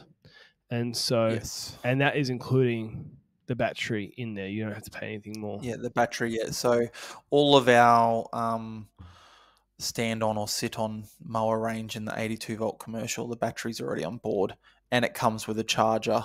Um, there was a thread about the 32 inch stand on, uh, I think it was last week. And um, a guy was saying, "Oh, you know, you've got to buy this. The charge is five grand more, and What? this and that." It's just, it's not the case. It all comes. That price is go away and mow. You know, buy it at the shop, get it pre-delivered, and um, charge it up, and all the shop should have it charged for you and take it away. So Um, can we round, we, we say 45 to 50 grand for a 60 inch. Is that right? Yep. In that range, just nice. yeah, four, uh, four, yeah, yeah, pretty much. Yeah, so your 18 kilowatts. So the one beside it there is 45, Okay. and then the 24, the 24 kilowatts. So 48. they they're both exactly the same mowers. It's just that obviously one has a smaller battery pack than the other, so runtime is less. All right. And the 32, so you should get a range of prices because we don't want to ask every Yep. single thing. People can call up and No, no. they'll find out what's in the middle. So 32 price, 8 kilowatt amp. Kilowatt amp? What am I saying? kilowatt hour. Because we just talk, yeah, we're not, not talking amp hours with these big ones. Um, Yeah, how many amp hours is that? at Don't answer. it's too, Dumb question. too late in the day for that. Yeah. um, twenty two triple nine. All right, so somewhere between, uh, yeah, you do your math on that. And when we talked before, go back to wherever it was in the podcast about the pricing on the fuel versus the battery stuff, because you mentioned that with your sit down mowers, um, uh, you know, how much money you can save on the on that stuff. Obviously, if you're thinking of buying this, you're not going to make the decision solely on a podcast like this. This is like a taster for you, so you can contact and get more pricing and stuff like that. I've got some questions about the practical stuff. The number one thing I like when I'm looking at these is this little platform bin thingy, not bin thingy. Yep. How much weight can I put on that? So on the 32 inch, um, that tray was on there, but we've taken it off just to save a bit of weight for stability. But on the 36, you can, and upwards, you can hold 110 kilos. Epic. And do you know why I was asking? Is because I have modified my Hustler Super S stand on that I've had for many years Oh, yep, to yep, good, good stand on. I welded a frame, not to the actual thing. I strap it down Yeah. with proper tie points and everything, but I have a welded metal frame that I put around the engine and I put a 100 liter spray tank Spray tank. on there. Yep. So it sounds like you wouldn't need all the fancy metal and you could probably put a 100 liter spray tank on there. Well, actually, it's probably not. You You could. would have to have some sort of frame. People who are listening, it's not big enough to fit that, but you could probably fit a 50 liter on there. Laughing. You could definitely fit a 50 or um, something like that size on there. Um, one of the questions we have been asked, um, especially on the compact stuff, uh, two things. A Catch Pro fits up very, very easily to these units. So anyone that wants a catcher for one of these, Epic. there's uh, that one. But also running power. Obviously, it's a battery powered unit. How do we get 12 volts? So on all the stand on and sit on product, there is USB chargers, but we do have a 12 volt source for power, depending on how much you need. That can be fitted by the dealer. Awesome. So if you're the sort of person who's say doing a rural property and you want to spray your fence lines, you know, your 25, 30, 50 litre bit of glypho in there, you also have the option of of being able to. So the 48s, 50s, do they have more weight capacity or is it all the same? Uh, they are a little bit more on those, and it's a, a bit wider platform, Yeah, obviously cool. too, Awesome. because it's a bigger battery and a bigger bigger storage space. Yeah. we see because it's things like this like i found um I- think if we were being really honest um business and stuff like that but uh well let's use pe- petrol powered stuff when i was looking at petrol powered stand-ons they're kind of similar like really kind of similar and it's kind of these one percenters like like for example most of the petrol power stuff is all using the same kawasaki engine you know and they're kind of using the same. You know, there's differences and all that sort of stuff. And, and I, I don't want to be disrespectful to brands because it isn't true that they're 100 percent the same. But what makes a difference is the one percenters. You know, being able to have a Yeah, platform definitely. on there. It honestly, it took me half a day to make the thing that I made, and it was late at night. It was like six o'clock till actually close to midnight, where I'm like welding and Yeah, this and that and going back because I want a frame that's metal that's strong enough, and I'm not a very good welder, so it's a lot. It's it, to be fair, it's probably one hour of welding and six hours of angle grinding off my bad welds. But what I'm getting at is like th- that's a real. There's certain people out here who are listening to this who go, "Oh, okay, that's interesting." You know, Mm. no more than Mm. question you're getting runtime. What what are you getting on these these machines? Um, So let's start with the 32. The 30 Yep, so the 32 and the 36 both are 8 kilowatt batteries, so we're going to get up to 5 hours runtime. So more than enough for a day's mowing. Yep. Uh, and charge time on that's 3 hours. All right. So um And what type of lawn? What type of grass are we talking here? Um, you know, maintained lawn or maintenance cutting, definitely you'll hit that five hours. We've just had someone do a demo and then purchase one in Victoria. Uh, he did a mixture of uh, lawns, but one day he did just all maintenance cutting, and I think he got s- nearly six hours, which he sh- probably shouldn't have because sh- runs theoretically five hours. Yeah. Um, but you know, a mixture of lawn and that you might see four to five hours if you're doing something that might be uh, 30 or 40 centimeters thick, you know, sort of that foot, foot and a half uh, versus um, kept lawn. And I would say, if, Uh, the speaking, a 32 inch, the type of jobs you're doing with that also have a lot of edging, right? Yep. Whereas a 60 inch, the types of jobs you're doing with that might literally just be on the mower all day. So Yeah. if we, just for the sake of time, because people can ask every single little thing about these individually. So the two most popular ones, Mm. you get in about five hours. The big boy 24 60 inch, what's the runtime on that? up to eight hours. Okay. So if you are the type of person who wants to do all day mowing, That's the one you want to look it's at. It's got the yeah. capacity for that. Yep, definitely. Um, we pretty well, we'll say eight hours of maintenance cutting and seven hours of thicker grass and heavier going. And Oh, well, that's whatnot. not- We've seen that. That's not that much of a difference. It's not that. you kind of no, feel like it'd be half, the- wouldn't it? But no. the wor- the worst I've seen uh, we tested was um, it did 11 acres uh, just on six hours. Um, and that was probably knee high sort of paddock grass in the Victorian sort of mountains here. So um, it was working for that whole six hours. The operator didn't stop. I would feel as well um, that 11 acres, most people are not doing 11 acres of overgrown stuff. That's a very rare type No. of job. They're Yeah. definitely doing 11 plus because that's four and a half hectares. We have a school Yep. that we do, which is close to two hectares, and the oval is one hectare. We'll call it less than that, but Yep. It takes a team of two basically the whole day to do everything, right? But the mowing, Yeah, okay. it takes me an hour to mow the, the flat oval, right? It's the fiddly Yeah. moving around, this and that, you know. And look, it's you, you know, it's uh, what I'm saying for those people who who don't have who don't do this kind of work. You don't.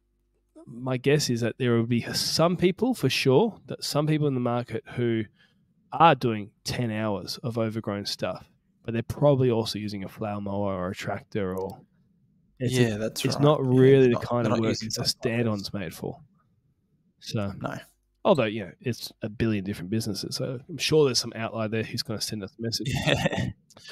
So that's epic. So like even the smallest battery on the smallest get five hours, six hours kind of thing, and the biggest one Yep. full day mowing on the type of jobs that you would expect a stand on to do ninety eight percent of the time. Uh, is there anything else of note that um, is is unique, special, worth talking about? Um, well, probably covers the stand-ons, but the um the zero turns as well. So if you want to move on to them, and I can point out the couple of the features. Um, on the Optimus mower range, there's 25 um, patents on the uh, technology and invention on that particular unit. Um, like I mentioned earlier, Greenworks commercial's been on market in the US since 2016. Yep. So this isn't our first foray into battery mowers. This is actually the fourth generation. Um, it's its first new. It got completely redesigned, but some of the key ones. The key one is the battery is probably first and foremost. So we talked about the handheld batteries before and different lithium compositions, which most people know about. Uh, but we use lithium phosphate in all of our uh, stand-on zero turns in the side-by-side vehicle. So uh, lithium phosphate, uh, one obviously lasts probably the longest out of all lithium, up to 2,000 full charge cycles uh, from zero to 100%.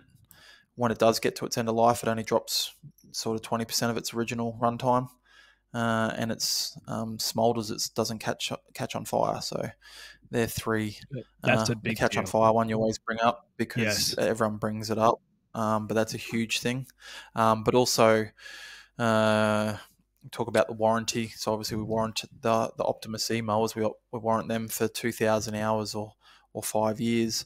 Um, but it, even when you're getting to that, um, the battery's still got a heap of life cycle in it. So your your um, your sale price uh, is still gonna re- hold its value you- as well. what I've found interestingly with with mowers is, I mean, this is for the petrol power stuff. You don't really hear. I mean, you tell me from running a shop, you don't really hear about the the motor ever dying. It's always someone's hit a tree, or the deck's rusted out, or you know, like I mean, hit a tree with a blade, like a tree root or something like that, and they've broken a spindle. Like that's the kind of Yeah. stuff where things go wrong. So is that the same thing that we can expect from the battery with the motors and things like that? Pretty much this this unit here and our battery technology that we use, I would I would dare say the battery should be the last uh, the last item standing. Um, most commercial commercial uh, petrol engines, I know most guys if they look after them are seeing that you know two and a half three thousand hours, which is well beyond what that motor's probably designed Yeah. to to last at. But the rest of the mowers had that much work that it's come time to move it on rather than re- keep reinvesting. Yep. Um, obviously, the benefits with with our product, um, just beside the battery, we use uh, we utilize a um, it's a Green Greenworks specific design, which is an in hub wheel motor. So we don't use um, two large motors to drive the rear wheels. They they use a I don't want to get too technical, but a planetary gear type setup. So we save a lot of space at that rear end, but get a lot of torque and a lot of uh, a lot of efficiency, which is how we get the long run time as well. All right, mate. I want to talk about a few other things because we are we're going long. Yeah, we're, I'm going to do some pause. I'm going to pause this, do some maths. I'll give you some pricing on uh, what it would cost to set up with Greenworks. All right, people. So I've just done some maths, and to get uh, the six batteries that Gary was recommending, hedge trimmer, blower, the 21 inch mower, the whip zipper with the kit, so it's going in the batteries, getting you a cheaper price there, and an edger. So the kit you kind of need: mower, edger, whipper, blower, hedger, standard stuff. You're looking, and the the bigger batteries for the mower, or four of them. Uh, no, sorry, two of them. Uh, you're looking around a seven and a half, eight, a little bit more, a little bit less, depending on what you're looking at. Um, and so that's just look, that's a big investment for some people, but you know what? You're gonna have to spend it at some point anyway. So uh, for those who are interested in it, that's kind of what you're looking at. And if you want a little bit more information, all right. So Gary, we want to talk about this sort of stuff. We are going long on this one, but I guess it's just the the sheer range you have. It just takes a while to talk about this yeah. sort of stuff. You have some exciting stuff coming out as well, and we're going to talk about a few of them. I've got some pictures on the screen. This was a, a released or announced at the Equip Expo, the uh, you know uh, uh, thought uh, was this uh, the stimulator for this entire series. You've got a 20. Well, you described to me what are we looking at in front of me right here?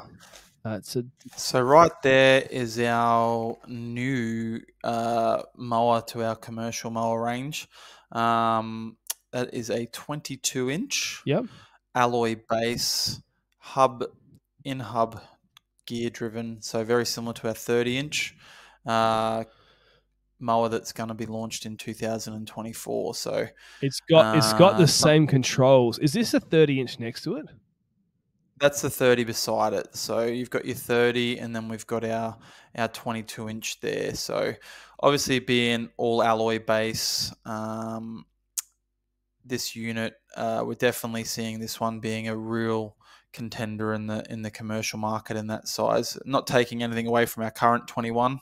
Um, but this one definitely ticks a box for durability and, and power and performance as well.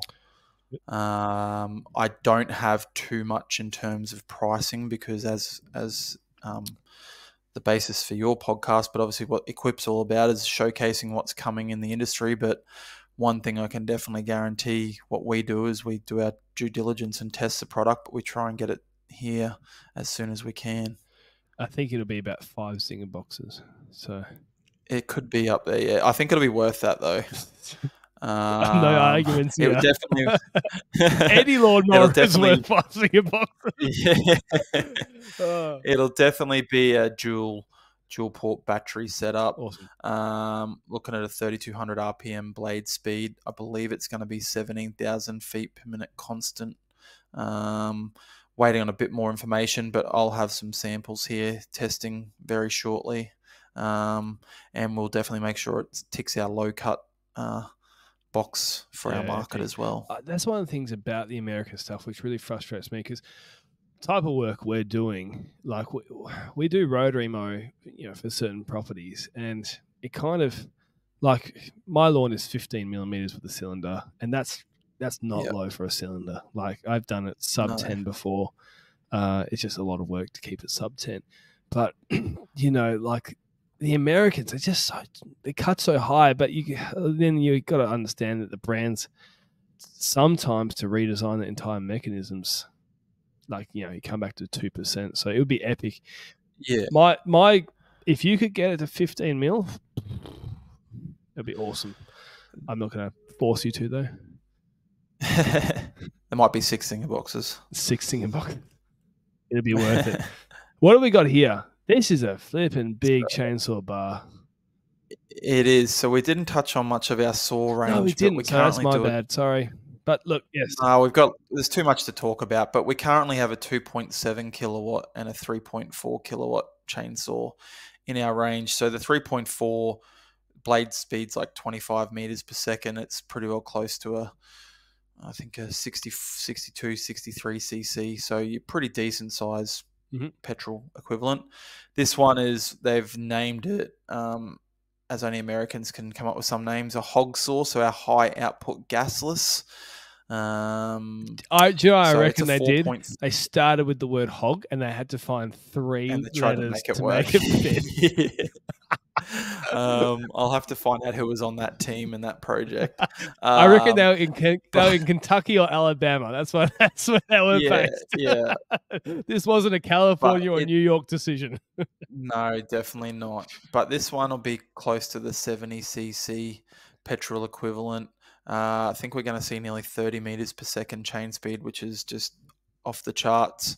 Uh, we'll probably only bring it here in a 20 or a 24 inch configuration. That seems to be what our market is. But yeah, this thing's an absolute beast. Um, again, I'll have my samples here for testing and put it to the professionals to give us their feedback. Um, battery chainsaws, you know, really revel in the fact of running off an electric motor because you get instant torque. Yep. So, um, yeah, definitely a good performer. I think it will sap the battery between you, me, and everyone else here, being 4.3 kilowatts of power, but um, I think it'll be worthwhile. The thing about battery chainsaws, though, there's two things. My father-in-law bought one from a competitor of yours, actually, but he is the sort of guy who has a real property. And uh, look, it was a resi one as well, so wouldn't wouldn't come close to any of this power. But he's got a rural property, and the thing about it is you don't use your chainsaw for about a year. Do you know what I mean? And then you use Yeah. it every day for about three weeks when you're in a rural property, and then you don't use it again. Yeah, it's kind of like that. And petrol engines, man, you forget to take the fuel out, and it's old fuel, and uh, it's so annoying to start a chainsaw, you know. And battery, my goodness, like just put it in and go. And I think a lot of the Yeah. contractors listening to this, they may not need the world's most powerful uh, hog saw, uh, but you know the the battery chainsaw stuff. Just it's just a smart move to have something on It def, it, just cut, yeah, cut what's needed. You know.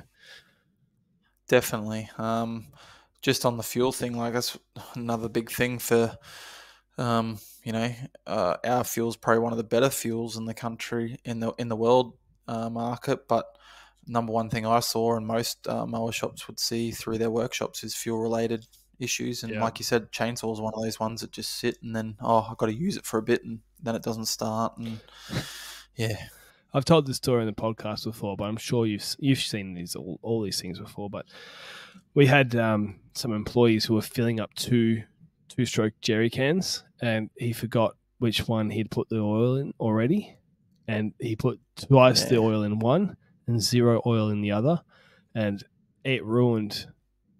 I would say eight hundred dollars worth of stuff, like maybe a thousand dollars worth of stuff. And one of them we got to run again, but it was kind of like it didn't work so well after that. just didn't. Yeah, But yeah, a blower and a, Yeah. a blower and a combi engine went to be with the Lord. done. Um, all right, so massive chainsaw coming. Uh, we didn't say when are these coming out, or did we say? And I missed it. Um, so most of these are coming. We will see those pro second half of next year for our market for next spring. Epic. Definitely the um, this blower probably will be a bit sooner, uh, possibly, but the other two will be second half of next year. IPX5, so very waterproof. Um, I have no idea the airspeed, the clearing volume, or the, what the Newton meters mean. So, how does it compare this is, to um, the, the the the big commercial stuff that we already use the Petrobras? The big commercial stuff as good or um, better. Uh, the feedback we've had with our current testing with this unit on its high output mode um, is that it, pardon the pun, blows the uh, blows the rest away. Um, there's a few key things with this one. Um, I had to throw that in there. Got to get one dad joke out.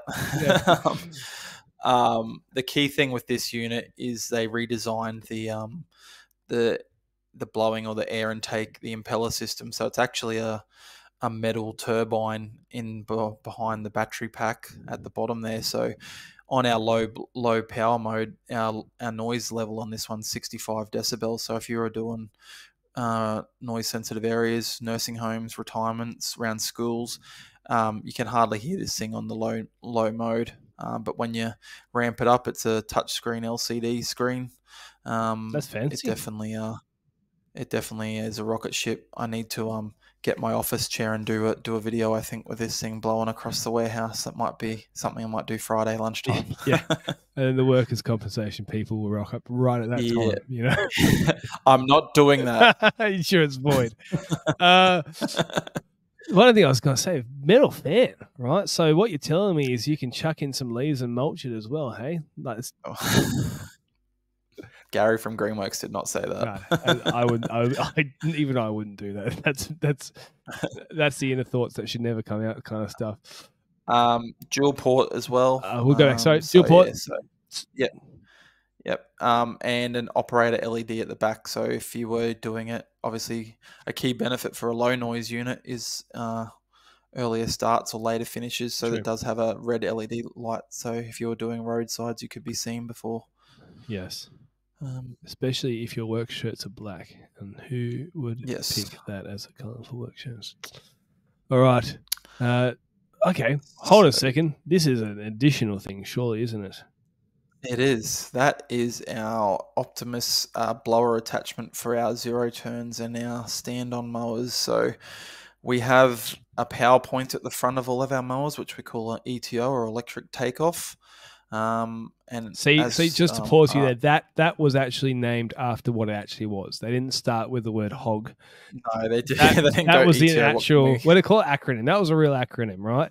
yeah, that was. Yeah. That was genuine. The other ones have Um, been. The other one, I don't think definitely was not. Yeah. Um, this particular product here. Um, so obviously in the US, a lot of guys, um, and I think um, a few companies make a kit to mount a petrol-powered blower Yes. On, on the them. ZTRs and standers. Um, so with this unit, uh, we plug it in and then it can be operated from our touch screen, and it's no different. Draws the air in at the top and blows the debris away as well. Um, we're doing a lot of development in this space with uh, using products off our power source out the front of that. Right. Um, that's the first one, but there's quite a bit in the pipeline. Interesting. Have you? We'll have to do another podcast on that. Yeah, I mean, well, my hope is to do this yearly. So if we get enough interest in Yep. this, then we'll see you again in twelve months. But definitely. have you, um,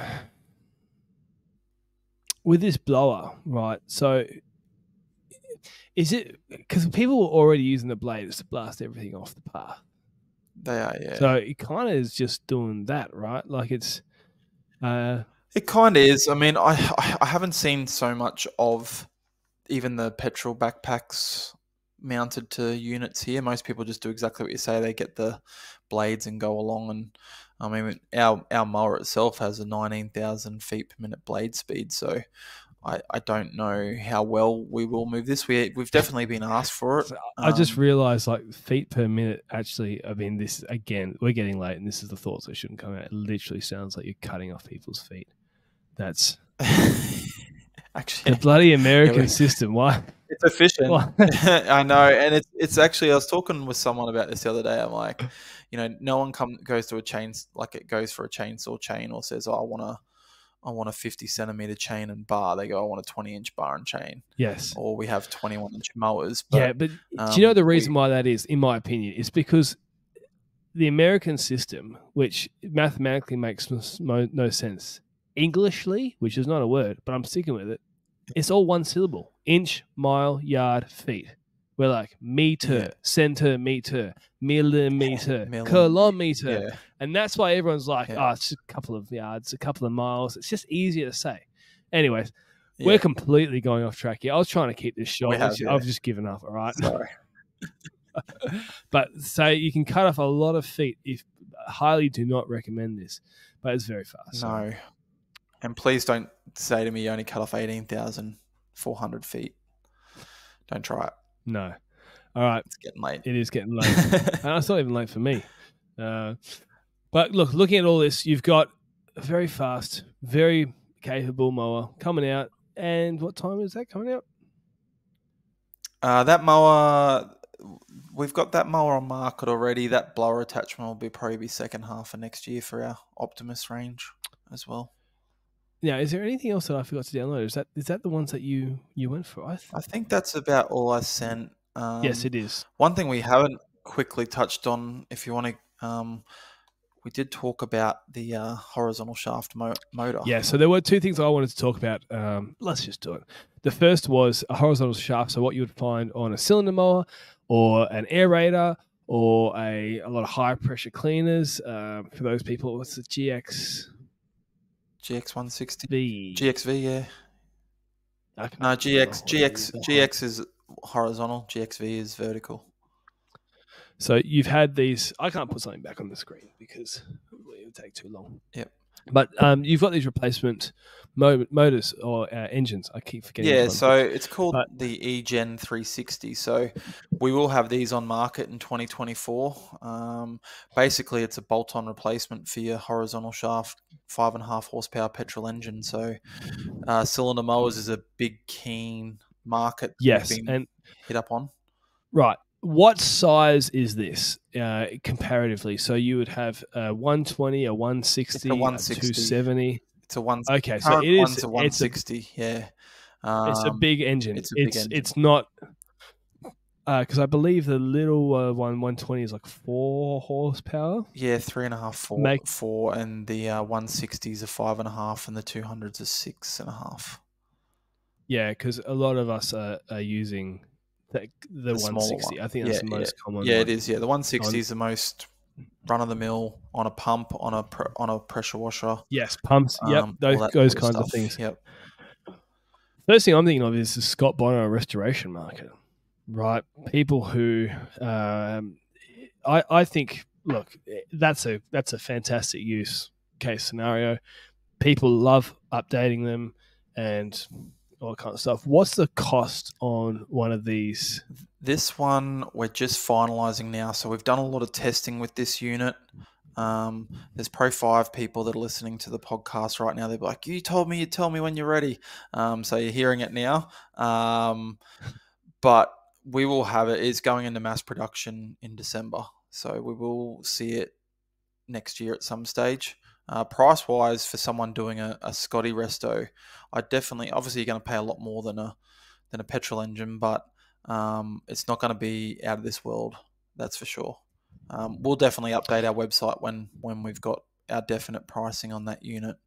Um, but it's all variable speed with a with a dial, um, so Mhm. very good for a cylinder mower application as well. So you can obviously dial the RPM down and then ramp it up as required, like a normal engine.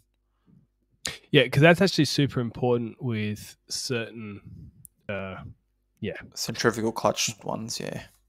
Well, yeah, and like uh, your blade speed is actually not uh, faster is not better Yeah, yeah, that's when you're right. cutting like scissors, Yep. right? And so I I pretty much have some of my mowers like just slightly above idle because it's the sharp blades that are cutting, and um, yeah, you know, it's uh just different mode that kind of thing. The other thing I was really interested in for the lawn care stuff, which is why we talked about the low scale peak, is uh, because I would feel my, my my gut feel is that a commercial operator is not going to use a Greenworks mower as a scalping mower because it's kind of a disrespectful act for a mower that's kind of supposed to be your regular maintenance stuff. Yep. You usually use your old one to do that, but homeowners might, right?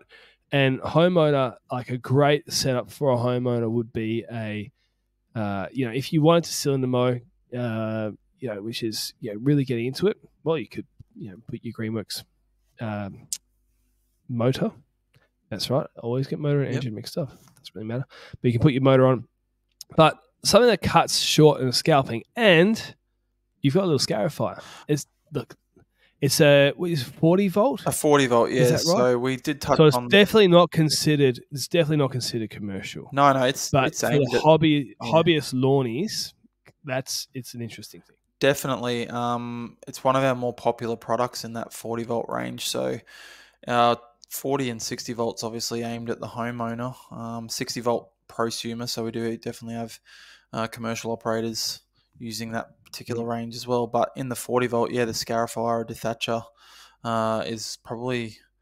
Uh, besides the push mower, uh, that's probably our second most popular tool in that range. It does a very, very good job in comparison to its competitor. Um, and price point, it's it's up there as well. So um, you just have to jump on um, social media and you see quite a few guys have used it and see what it does. Um, uh, yeah, we're definitely getting a that one there is very good for the lawnies. Uh, yeah, and I do think it's like yeah. Although I do love using commercial stuff, and I have done a side by side comparison with with a Ryobi Scarifier, which came out many years ago, and a MoMaster Scarifier, which th- the MoMaster is like probably more than. You know? I think the MoMaster is twenty times the cost Yep. without batteries. I think the MoMaster is six thousand at the time, and the and the Ryobi was three hundred bucks, at yep. the time. Yep. So I mean, you should see a difference, and you know, it's they're, obviously they're a different class, but not everybody is going to buy one, and the home enthusiast could be there. Would it be something? Now, I probably would. uh, You know, I've got a a pre-baked opinion that this is probably not for somebody who might want to do a couple of side renos in their business, you know, and trash it a bit. Can it handle it? Is it worth it? Or should they just get a dedicated commercial machine? Um, I think it'd handle a couple, but if you were planning on going through a whole season of Renos and had quite a bit of work as a as a commercial operator. You'd be better off investing, um, even in some of the cheaper petrol ones. Um, yeah. Touching on the equipped stuff, there's definitely something in the pipeline for something a bit more heavier duty than that 40 volt unit. Um, nice. So there will be something that will probably handle a bit more of the the harder work. But there's definitely a few guys out there that are doing a couple of Renos a year using that 40 volt unit. Um, yeah, I'm surprised what that thing actually does. What I would say for for all those types of units, well, for people who are just interested in that kind of work, is they, for what I've used and what I've seen, they are fantastic at, at the light groom. Yeah, and and you know you don't really need much energy just to tickle the surface, especially buffalo how it gets those sort of ugly runners that can sometimes grow across when you grow too short and just you know those sorts of machines to pull it up. So I was interested in that from a lawn care perspective and just kind of feeling you know about the the range there. Um, another thing, a couple of other things that, that's just coming to mind is you also, I mean, not that I want to talk too much about this, but I was surprised. I didn't know you have like drills and whippers, uh, not whippers, of course you have that drills, yeah. and, uh, angle grinders, and that sort of stuff. So obviously not an 82 volt massive hunk of battery plugged into a no, no, no, that'd be that'd be be epic. Um, no, so that's that'd be suicidal. when we launched the range in Australia, we launched with 24 and 40 volt, um, which were yeah. the two platforms we started with. But very rapidly, we introduced the 60 volt Greenworks Pro range, which is actually our flagship um, our range, and it grows extensively. But yeah, within that 24 volt range, there's uh, drills and angle grinders and impact guns and all that sort of stuff. So there's quite a few tools in that range, and um, obviously that market is pretty well dominated by Milwaukee and Makita and all that. But we definitely cater to that uh, company, that sort of segment as well. Um, yeah.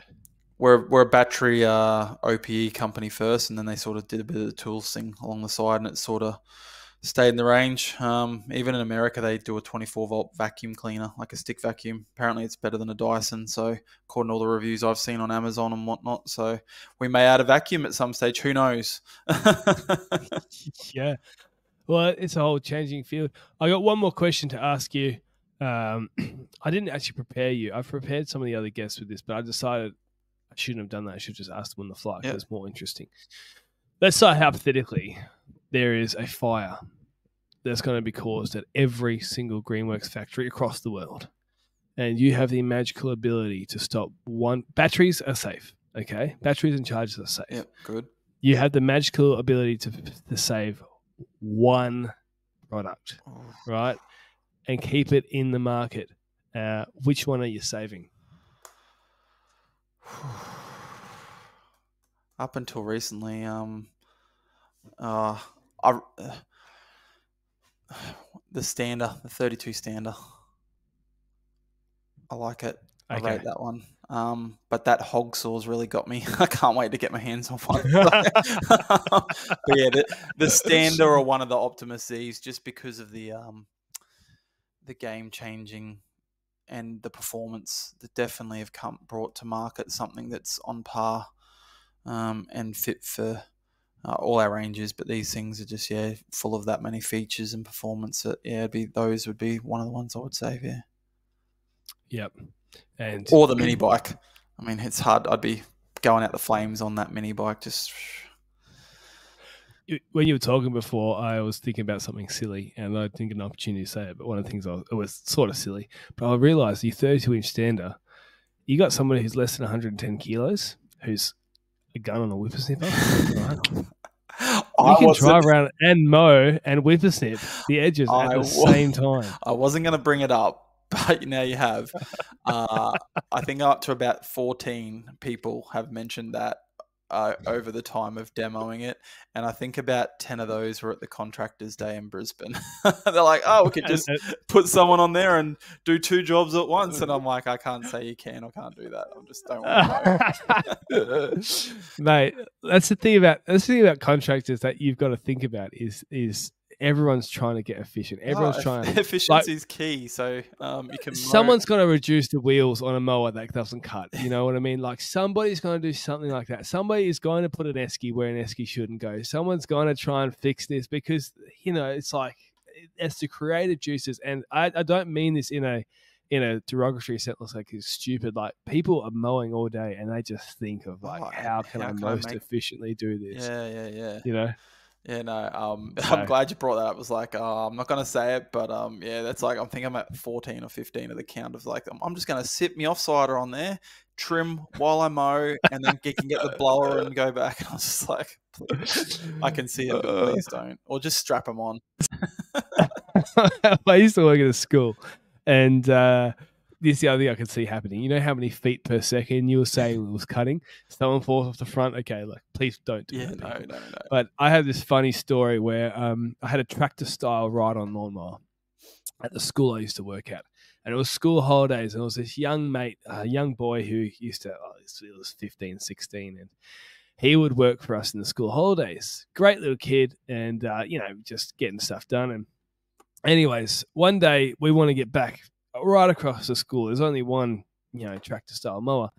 And uh, other than him sitting on my lap, uh, the only way he could kind of you know, get to the front was to put his feet on the front axle Oh. and hold the engine, right? And not with the uh, uh, what do you call it, the bonnet thing Yeah, yeah, on yeah, top of the engine. yeah. And if you know these tractor style things, the the bonnet lifts forward, it does, right? yes. So oh, I the laugh when you first time I that. braked, the first time I braked, the whole thing just lifts up, and he just goes all the way back. And I was braking pretty hard because we were in a rush to finish, and it was one of the funniest things. Yeah. So there was no blades running, and I did not run over him, and he didn't even hurt himself that much. It was just you know kind of you know hurt his pride. yeah, Uh, and funny you know, for everyone involved. I was just me and him. No one else even at Yeah. the school, the school holidays. But it was just it was just funny. And anyway, but that's also going through my mind where I'm like, I ge- if someone worked for me, I genuinely would not be okay with someone sitting on the front no, of a mower having that experience because also having had several workers' compensation claims over my years, I do not want anybody going under a mower. oh no, Like even I, just don't- the- I can see that happening. Yeah, even just a work any workers comp claim, you never want that, but let alone something like a mower injury. Oh yeah, and like I mean, I'm talking without the blades even. running. Yeah, yeah, yeah. You know, like oh man, like that's a bad day. So please, Don't do it. that was a it was a don't joke. do it. Right, it was a joke. Right, putting a sprayer on there and strapping it down. That's a that's a good idea. You know, KFC, you could have a whole box You in front. you could. I would even think you could make a whole could have a crate just for it. We could, we could run the heating off the USB to keep it heated. Ugh. the esky that you get out's got some Pepsi Max in it. Man, this is what makes life have meaning and significance and value again. Anyways, this has been long. Yeah. thanks for coming No, on, that's though. right. Thanks. Uh, where do people reach out to you if they want to buy, if they want to set up everything for So, seven, eight go dollars? go check out our website greenworksaustralia.com um, we've got commercial dealers all around the country so probably one thing i didn't mention and i will is that um, your local greenworks dealer may not be a greenworks commercial dealer because it is a separate range so the dealer locator is in the commercial tab on our website um, or send us a email at support at greenworksaustralia.com and um, one of the team will get back to you, probably me or one of the many others that are there. I've also seen that you guys do like doing some demos here and there, and I think that's Yeah. really important. So, can people get their hands? Uh, you, you've got events and things like that, or you do Definitely, we up. we definitely um uh through our dealers or if you're um local to one of our um our reps or our warehouses around the country, we can facilitate a demo through that. Um, and we do support dealers uh, when they do demo days. I'm in Brisbane this coming weekend, so doing one up there. Um, but yeah, otherwise trade shows or just reach out. Uh, same thing on socials. Send a message there, and one of us will see that and and help you out there as well. All right. Thanks, mate, for coming on. No worries. Thanks, we'll guys. see you. Hopefully, uh, it was podcast. informative.